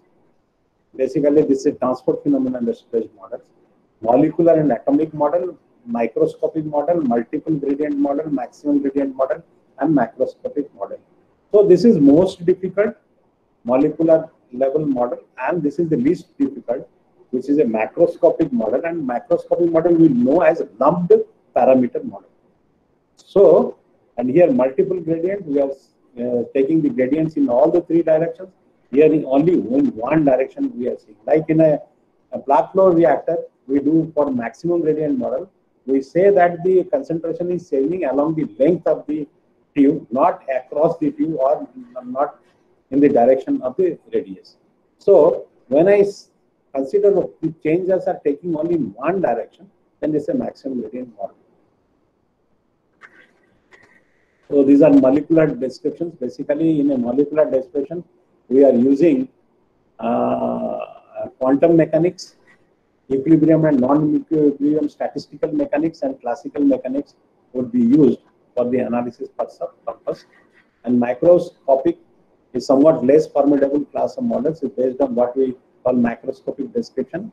In microscopic description, if you go for the Bird and Lightfoot, you will have a lot of microscopic description there and multiple gradient model, maximum gradient model, and microscopic models. Now, how to solve? How to develop and solve mathematical models? So knowledge of the process is there. We apply mass, momentum, energy conservation equations and prescribe initial and boundary conditions in conformity to the real process. So use, say, suppose I want a velocity profile. In this room, I am giving a lecture. I want at every point of this room, what is the velocity profile? And I want a 3D velocity profile. That means in x direction, y direction, and z direction. Then I have to take three-dimensional momentum balance equations. In momentum balance in x direction, y direction, and z direction, that will give me the three-directional coefficient. If I want temperature of this room at every point, I have to go for energy conservation equation. If I want mass of the flow, then I have to go for mass balance. So like this, I depending upon what I want, I can devise how many differential equations will be there. Then based on my the room or the where I am applying, my initial and boundary conditions will be there. When I have all these things, this is the mathematical model. Then this mathematical model is a set of PD's partial differential equation or ordinary differential equations with IC initial condition and boundary conditions. They may be a coupled partial differential equations and ordinary differential equations. They may be non-coupled. So these equations are now ODPD solution technique. I can use analytical or numerical solutions. FEM I can use. Finite difference methods I can use. I can use collocation techniques, etc. When I use them, they are converted into a set of algebraic equations are generated, which is converted into a matrix. So basically, these partial differential equations are converted into a set of algebraic equations and into a matrix, and then this matrix is solved, and then solution is interpreted. So this is how a mathematical equation is mathematical model is solved. Now, if you see the numerical solution of partial differential equations, you have method of finite difference is used, method of characteristic MOC is used, method of lines is used, method of finite element is used, method of weighted residuals are used. And if you go for weighted residuals, you have collocation methods, subdomain methods, least square method, Galerkin's method, and method of moments. So there are many method of residuals. And residuals methods are also used in the finite element approach in modeling. So these are the uh, solution techniques which are used for uh, for the solution of partial differential equations. Now the success of a mathematical model depends on how easily it can be used and how accurately it predicts and how well it explains the phenomena being studied. Now there are three points. The model depends on how easily. If the model is easy, then its popularity is more. How accurately is the second point. It should predict very accurately. And how it explains the phenomena. If it is not able to explain the phenomena for which it has been modeled, then this mathematical model has no use. So if you understand the phenomena very, very correctly, then you can develop a model, simple model, we will predict accurately. If you see Kern's book, then whatever equation Kern has given is applicable up till now and after the hundred of years. That means the understanding of thermal phenomena by Kern was very good.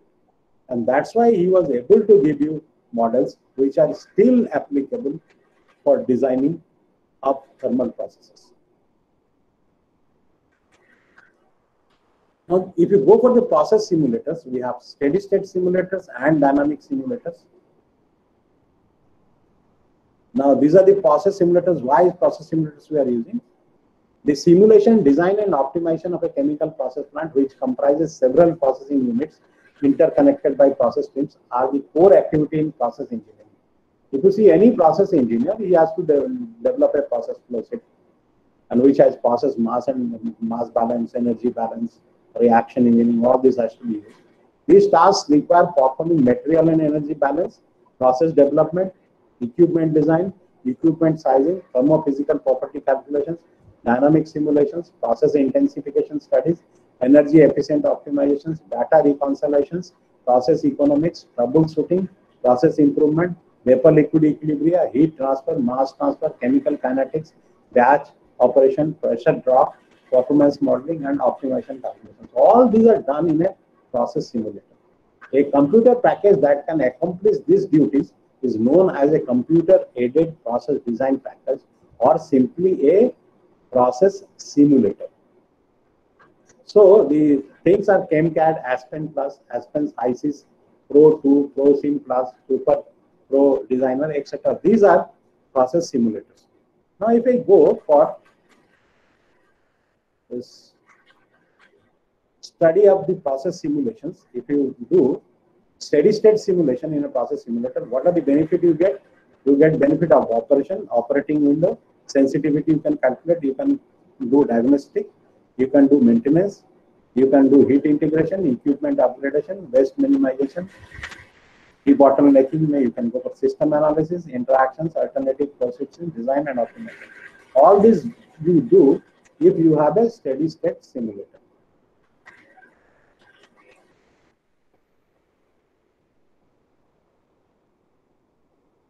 Now, if you see the engine part of the simulator, then you see it, there are two type of engines, flow, in, flowsheeting engines. One is called dynamic engines, another is called steady state engine. Now, in the flowsheeting engines, you will have equation based engines, modular engines, and in the modular, you will have sequential engines and non sequential engines. So, steady state flowsheeting engines are generally divided into several categories. There are steady state flowsheeting engines versus dynamic flowsheeting engines.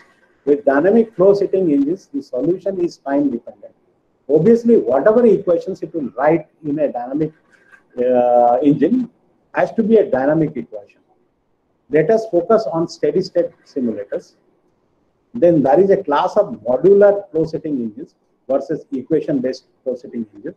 For equation based flow cities, the whole flowsheet or the independent section thereof translate into a set of equations that are solved simultaneously. So you are forming a set of equations, a matrix, and that matrix has to solve simultaneously. In the modular approach, each submodule in the process, that is a unit operation, is considered as a black box and recycle are solved by an iterative procedure. The modular flowsheeting engines can be divided in two more categories, sequential ones and non-sequential. So this is how this is. So it writes out the sequential, what is sequential architecture, what is non-sequential architecture. Now advantage of SM and disadvantage of SM is modular development capabilities, needs for topological analysis and system initializations of tier algorithm. These are I have given uh, what are the plus points and negative points of these engines.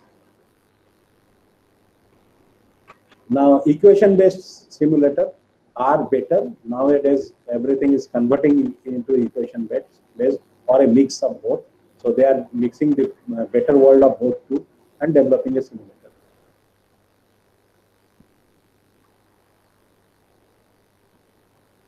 Now, this is a flowsheeting simulator which is free of cost available. So people can try. try. IIT Bombay is using this for students. And uh, there is a new term which is called CAPE Open compliant process simulation. So this supports CAPE Open uh, com uh, compliant process simulators. If you see, the overall process simulator uses three type of things. In a flowsheeting environment is built up uh, as shown in the figure. The overall process model, the flowsheet runs in application space shown in the green. So this is the application space shown in the green. The flow will require thermodynamic submodules and unit operation submodules. When a flowsheet simulator is running, it will it, will need a data bank, uh, thermodynamic data bank, and a unit operation submodules. Typically, most of are provided by the applica application, and these also run in application space. So these are supplied by the company of whose simulator you are using. Most processing engines will allow the use of user-defined submodules, for example, unit operations. Usually there is a proprietary way of allow the user to do this. Now in a flowsheet simulator, if you are flowsheeting a new uh, unit operation, then the flowsheet simulator will allow you to write a code for that new um, uh, e- unit operation. But how you write, how you mingle this code with the uh, processor code will be dictated by the flowsheet component. More often than not, this accomplished by a Fortran module and are specified the state at hand. These modules are shown in right. These are the modules, user modules, which are called non-cape open modules, which can be used. And the third type of module, which is called cape open, these modules are developed by third party. You can develop a unit operation model, you can float it into the internet. Somebody can take that model and use it in his uh, process simulators. But all process simulators will not allow this. But there are few type of process simulators, as I have given here, which will allow the third party cape open compliant uh, units. So if you are developing a state simulator based on this one, DWSIM, and collecting in unit operation model of Cape Open, which a lot of unit operation models are available. So you can use it and you can develop a very good person. When using a steady state simulator, the following aspect should be kept in mind. Uh, I'm not going to. Doctor, yeah. Yeah. Yes, anyone? Uh, any question? Any question, please? Uh, no, sir. Just you just continue, sir. I'm doing little bit quickly because I have to cover. Uh, time is left is very less. Most useful software package in chemical engineering. If you want to run a chemical engineering department, at least you should have all these softwares.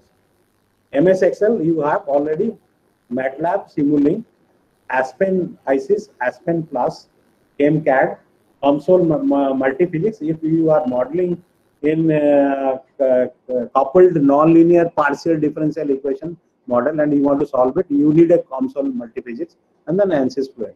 If these softwares are with you, you can run a chemical engineering department very nicely and do very good simulation.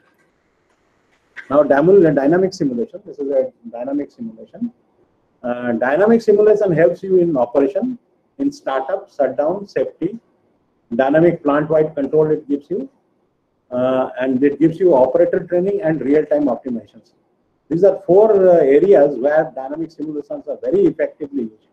And uh, for operator training, this is very useful. Now, this is steady state and dynamic simulations I have given, uh, very things why this is important. This is why this is important I have given. Dynamic simulation is the only economically effective solution to these needs. These are the needs, operator training, simulator operation optimization, modification of process and control system design, investigation of operational issues, safety and environmental issues. To solve this, this is the only way, since it yields a lot of more information than what traditional steady state simulator offers.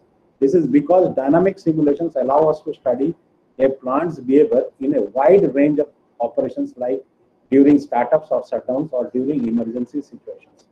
Now, one beautiful thing I would like to tell you. If you have watched that if a liquid is entering into a pipeline and heat transfer is taking place, then what is the heat transfer coefficient at the entrance region? Can somebody tell me? This is infinite. That means when this system is at unsteady state, the transfer process is enhanced. Heat transfer is enhanced, mass transfer is enhanced. When it becomes steady state, the transfer processes decrease. That means if I keep the whole system in unsteady state somehow, then I will be able to transfer more heat and more mass transfer can take place. But this concept has not come yet into the industry to run it totally in a dynamic uh, fashion so that the transfers are maximized. Maybe that after some time, after a few years, this concept will come. It can be used for optimization, for control purposes. Steady state and dynamic state process simulators Uh, this shows that what are the process simulators are available, what are the range of applications. All this is given. Aspen Plus, CAD sim class, CAD. This is the commercial packages. This is the open source COCO. You can uh, get it free of cost. Design 2 is commercial. D, uh, this is open source. You can get free of cost. This is a commercial. This is open source. EMSO open source. You can get free of cost.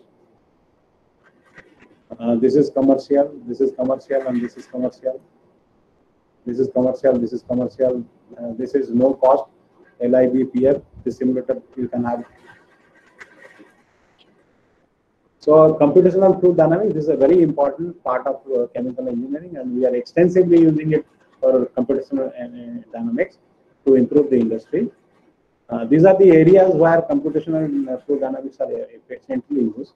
So CFD is one of the pioneering tools which can provide such great insight into single and multi-phase flow at various length and time scales. Various turbulent models such as Reynolds average Navier-Stokes equation RANS and large eddy simulation LES for simulating single phase fluid flow as well as two phase fluid flow for two phase fluid flow and filtered TMF with proper sub models for two phase flows can be used in this contest. Now we are going for CFD DEM combinations. I'll give an example. There is a proposal we are sending now to the steel uh, Ministry of Steel where we want to improve the uh, the you know what do you call it uh, some part of a steel industries where CFD and DEM will be used. That is a rotary kiln. In a rotary kiln, we want to improve that rotary kiln. So there CFD and DMA combinations will be used. So DEM is also becoming very important. There are some uh, examples of CFD these are the CM, CFDs which are available. Uh, and there are some examination examples like this. I'm not going into details that how to solve this. Macro reactors.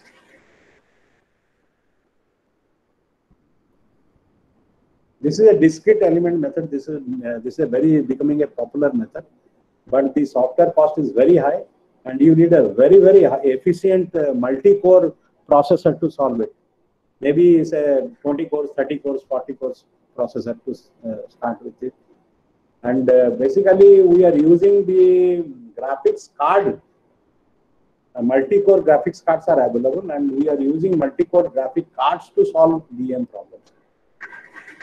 So this DEM is becoming very important for chemical engineers, and I should advise you to start work on DEM because the penetration of DMM in Indian market is very less. So these are the results of DAM.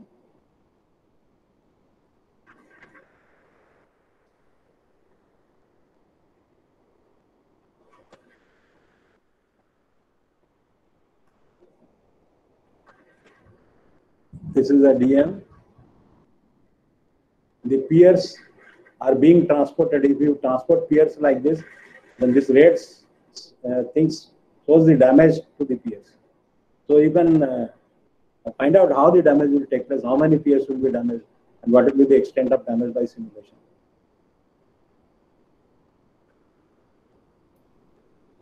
And these are the open source codes which are available for DEM. This is LIGGGHTS, and this is these are and these are the commercial codes which are available for DEM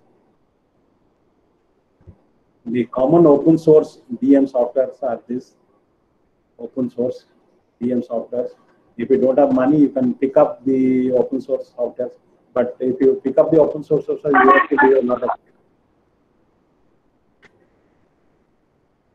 These are the commercial DEM softwares available. And basically in India, Rocky DEM is available. And so we have talked to the Rocky DEM, but the cost is exorbitantly high and I think EDEM is also available. Process control.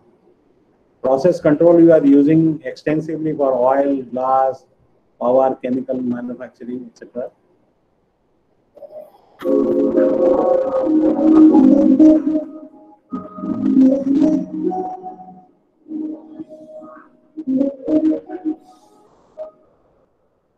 A modern process plant often have a modular design based on the building block principle, so to speak. The individual modules are completely autonomous units, known as package units. Typical examples include centrifuges, compressors, or dryers. The benefit of this modular design Individual plant sections can be maintained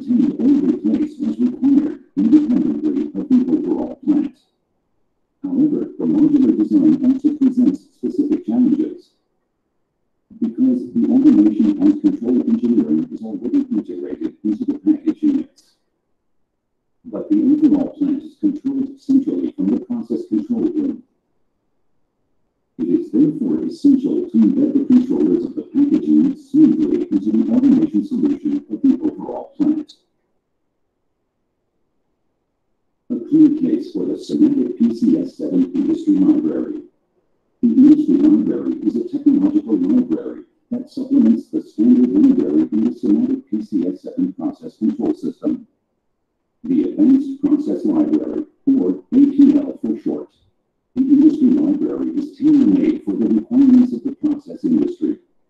With its help, we integrate your package units homogeneously and conveniently into SIMATIC PCS7. The industry library offers you a comprehensive range of all the relevant technological blocks. For example, motors, valves, or measured values. The operator can use these block icons and faceplates to control the unit directly via the operator station. Both the icons and the faceplates retain the familiar appearance of SIMATIC PCS7. For the operator, a package unit looks exactly like an APL function in this process control system. With the help of the industry library, you can implement your graphical and technological engineering in no time at all, using the CFC editor in the same way as with SIMATIC PCS7. The controllers of the package units themselves behave like process control systems. The operator is directed selectively to alarms and acknowledges the messages. With the industry library, we increase the level of integration of your automation system. It helps you avoid operator errors and thus also contributes to increased operational efficiency. Modular plants are the present and future of the process industry. Rely on the industry library from Siemens for seamless integration of your package units in SIMATIC PCS7.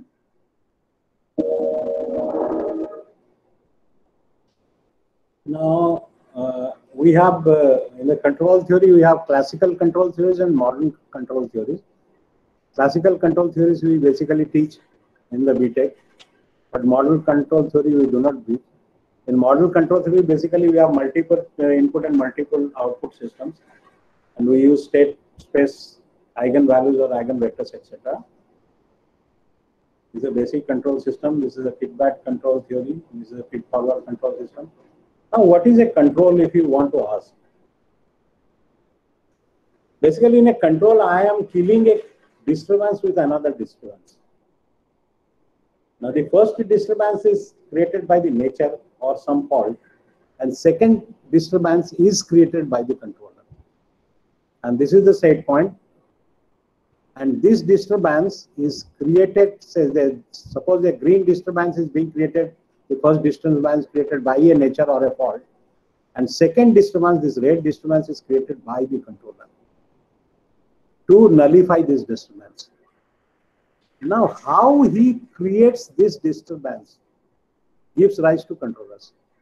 The different way of creating a disturbance gives rise to different controllers or controller theories or control mechanisms. So this is how the control works. So why control is necessary? It improves productivity, inventory reductions, utility minimization, maintenance effectiveness, capacity increase, manufacturing flexibility, responsiveness, and product quality it gives. And that's why control is important. Now, what is happening? If you see uh, nowadays, the constraints on manufacturing is becoming very restricted. Like earlier, nobody was thinking about the pollution. Whatever pollution we make in that industry, nobody bothers. Whether it's a air pollution or water pollution or a ground pollution. Now there are rules you have to work. So there are a lot of rules within which you work. So this place is becoming constrained and smaller and smaller.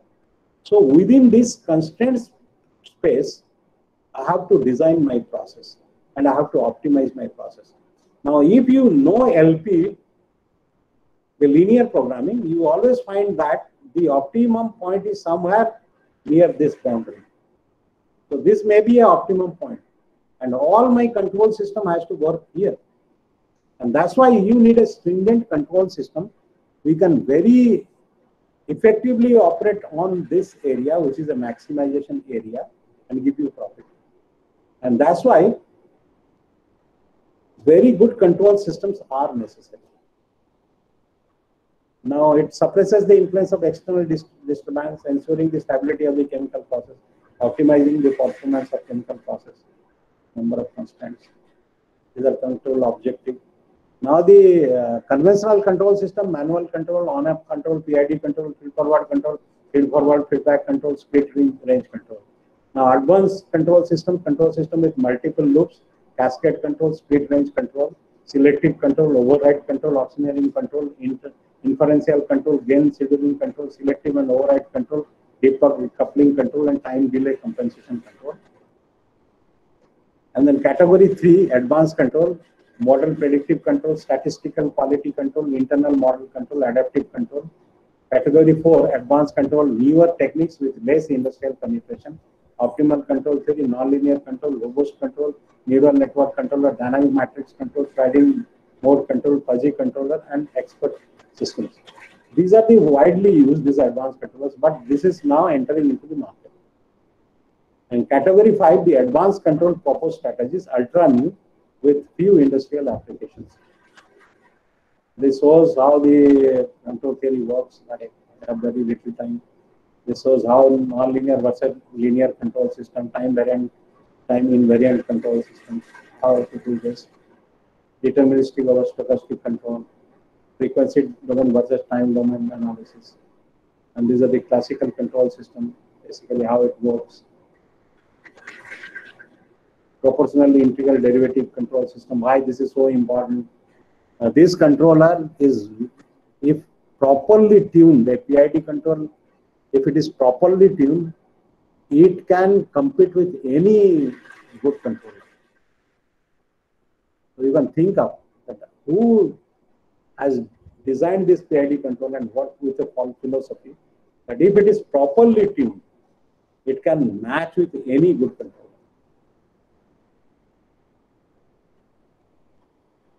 PID controller economics, process performance is not as good as you think.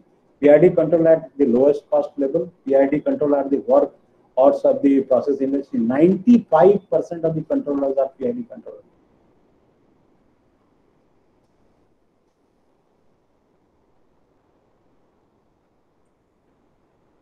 APC, advanced process control, is not useful when PIDs are badly tuned. PIDs don't work properly because they are badly tuned.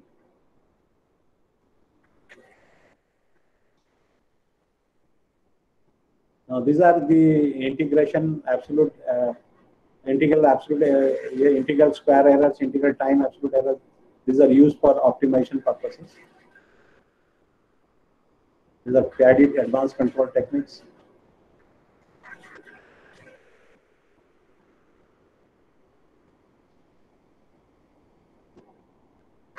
Now this is the cost. You can see that this is basic controller. When you go for enhanced regulatory control, the price rises. Then multivariable control again price rises, and when you go for optimization, this is the price rise. So this is what do you pay uh, for uh, advanced control system.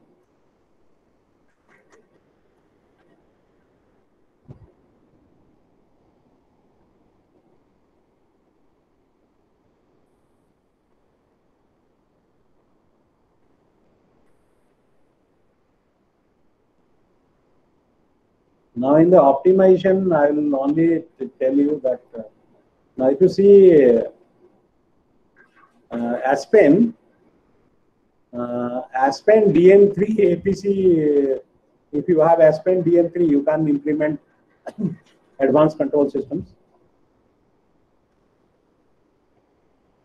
And APC, Aspen plus Dynamics, you can do the uh, dynamic modeling. And if Aspen DMC3, you can implement control system.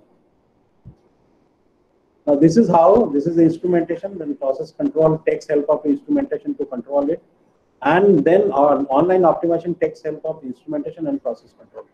So the for online optimization, process control and instrumentation are subsets. And for process control, instrumentation is a subset.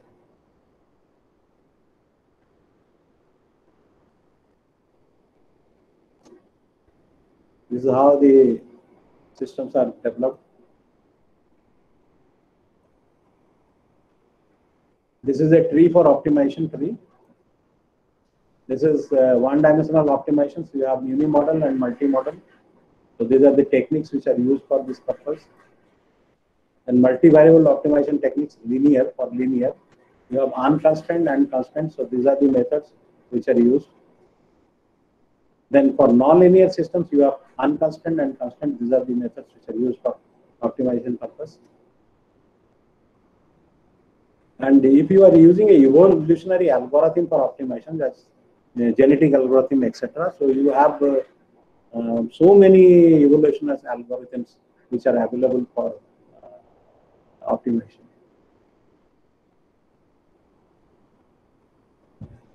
Genetic algorithm, ant colony algorithm, particle swarm optimization, simulated annealing, all these are available.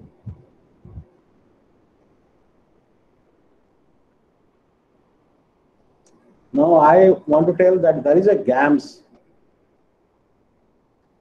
GMS is a robust, scalable, state-of-the-art algebraic modeling uh, technology to develop complex, large-scale optimization applications. So if you are, want to work uh, in the field of optimization, you should have GAMS with you. It will cost you around 1.5 lakhs or so. I have, a, uh, I have GAMS, they are in my lab and uh, we do a use a lot of GAMS for uh, network optimization purposes.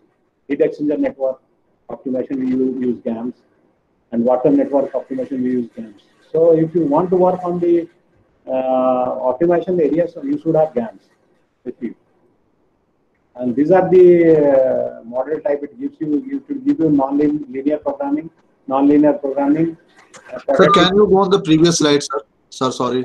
This is OP Verma. I, I could. Sir, can you go on the previous slide? Acha, previous slide. Yeah. Actually, sir, uh, is this uh, software is only uh, used for the algebraic equation or for the any ordinary differential equation or so PD partial differential equation or integral differential equation? in partial differential equation or ordinary differential equation. It can be solved. Huh? It is it no it can use you cannot use it to solve. Okay, okay, okay. It is for algebraical modeling technology. Okay, okay. You are for algebraic equations. Okay, algebraic equation. Linear programming, non-linear programming, quadratically constant programming, discontinuous non-linear programming, mixed integer programming, relaxed mixed integer programming, mixed integer non-linear programming, relaxed mixed integer non-linear programming. So all these programming facilities you will get here. In optimization method, basically we are not uh, solving uh, ODE or PDs. Whatever optimization methods I have shown you, they are all based on algebra. Now these are the uh, subroutines which are available and which subroutine supports what type of optimization is given here. So when you select subroutines for GAMS, when you will purchase GAMS, you will give you a main engine and then he will give you subroutines. So you will select subroutine based on this table. What work you want to do. This is the table which gives you subroutines. Then in um, MathWorks, also you get optimization toolbox. And that optimization toolbox provides you uh, solvers for linear programming, mixed integer linear programming, MILP. It does not give you MINLP. Quadratic programming it gives you, non-linear programming it gives you. So these are the constant linear least square, non-linear least square, and nonlinear equation it gives you. It doesn't give you MINLP. So if your function is MINLP, then you cannot do with MATLAB. List of chemical uh, process simulators. So there are a lot of process simulators available.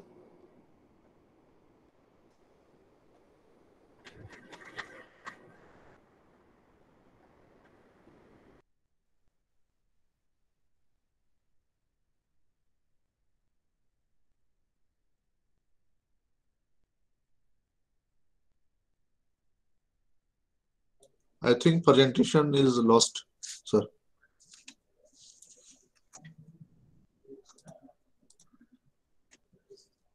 Hello?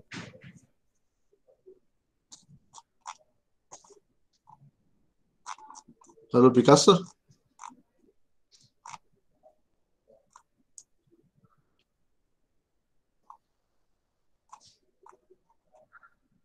Dr. Deepak Sahu. Hello, Dr. Sahu? Hello, Dr. Sahu?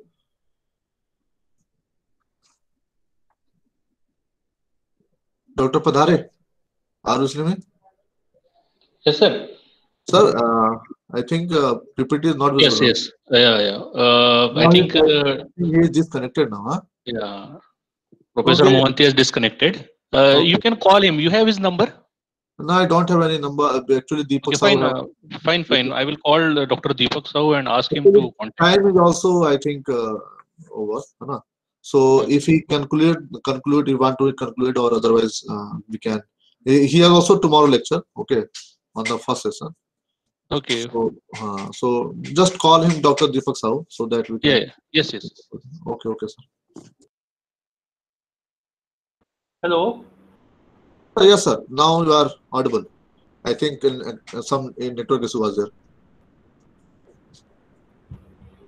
Sir, your your mic is mute. Your mic is on mute mode, sir. Just unmute that. Your mic is on mute.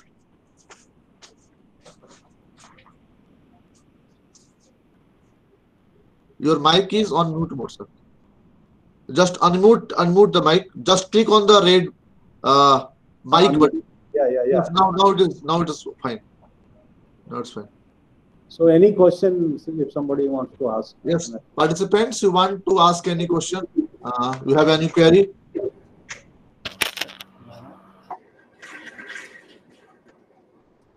Any any any participants want to ask query?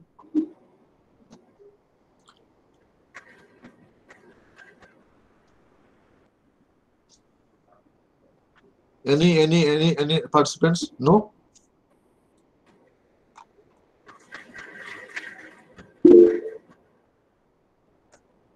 Okay.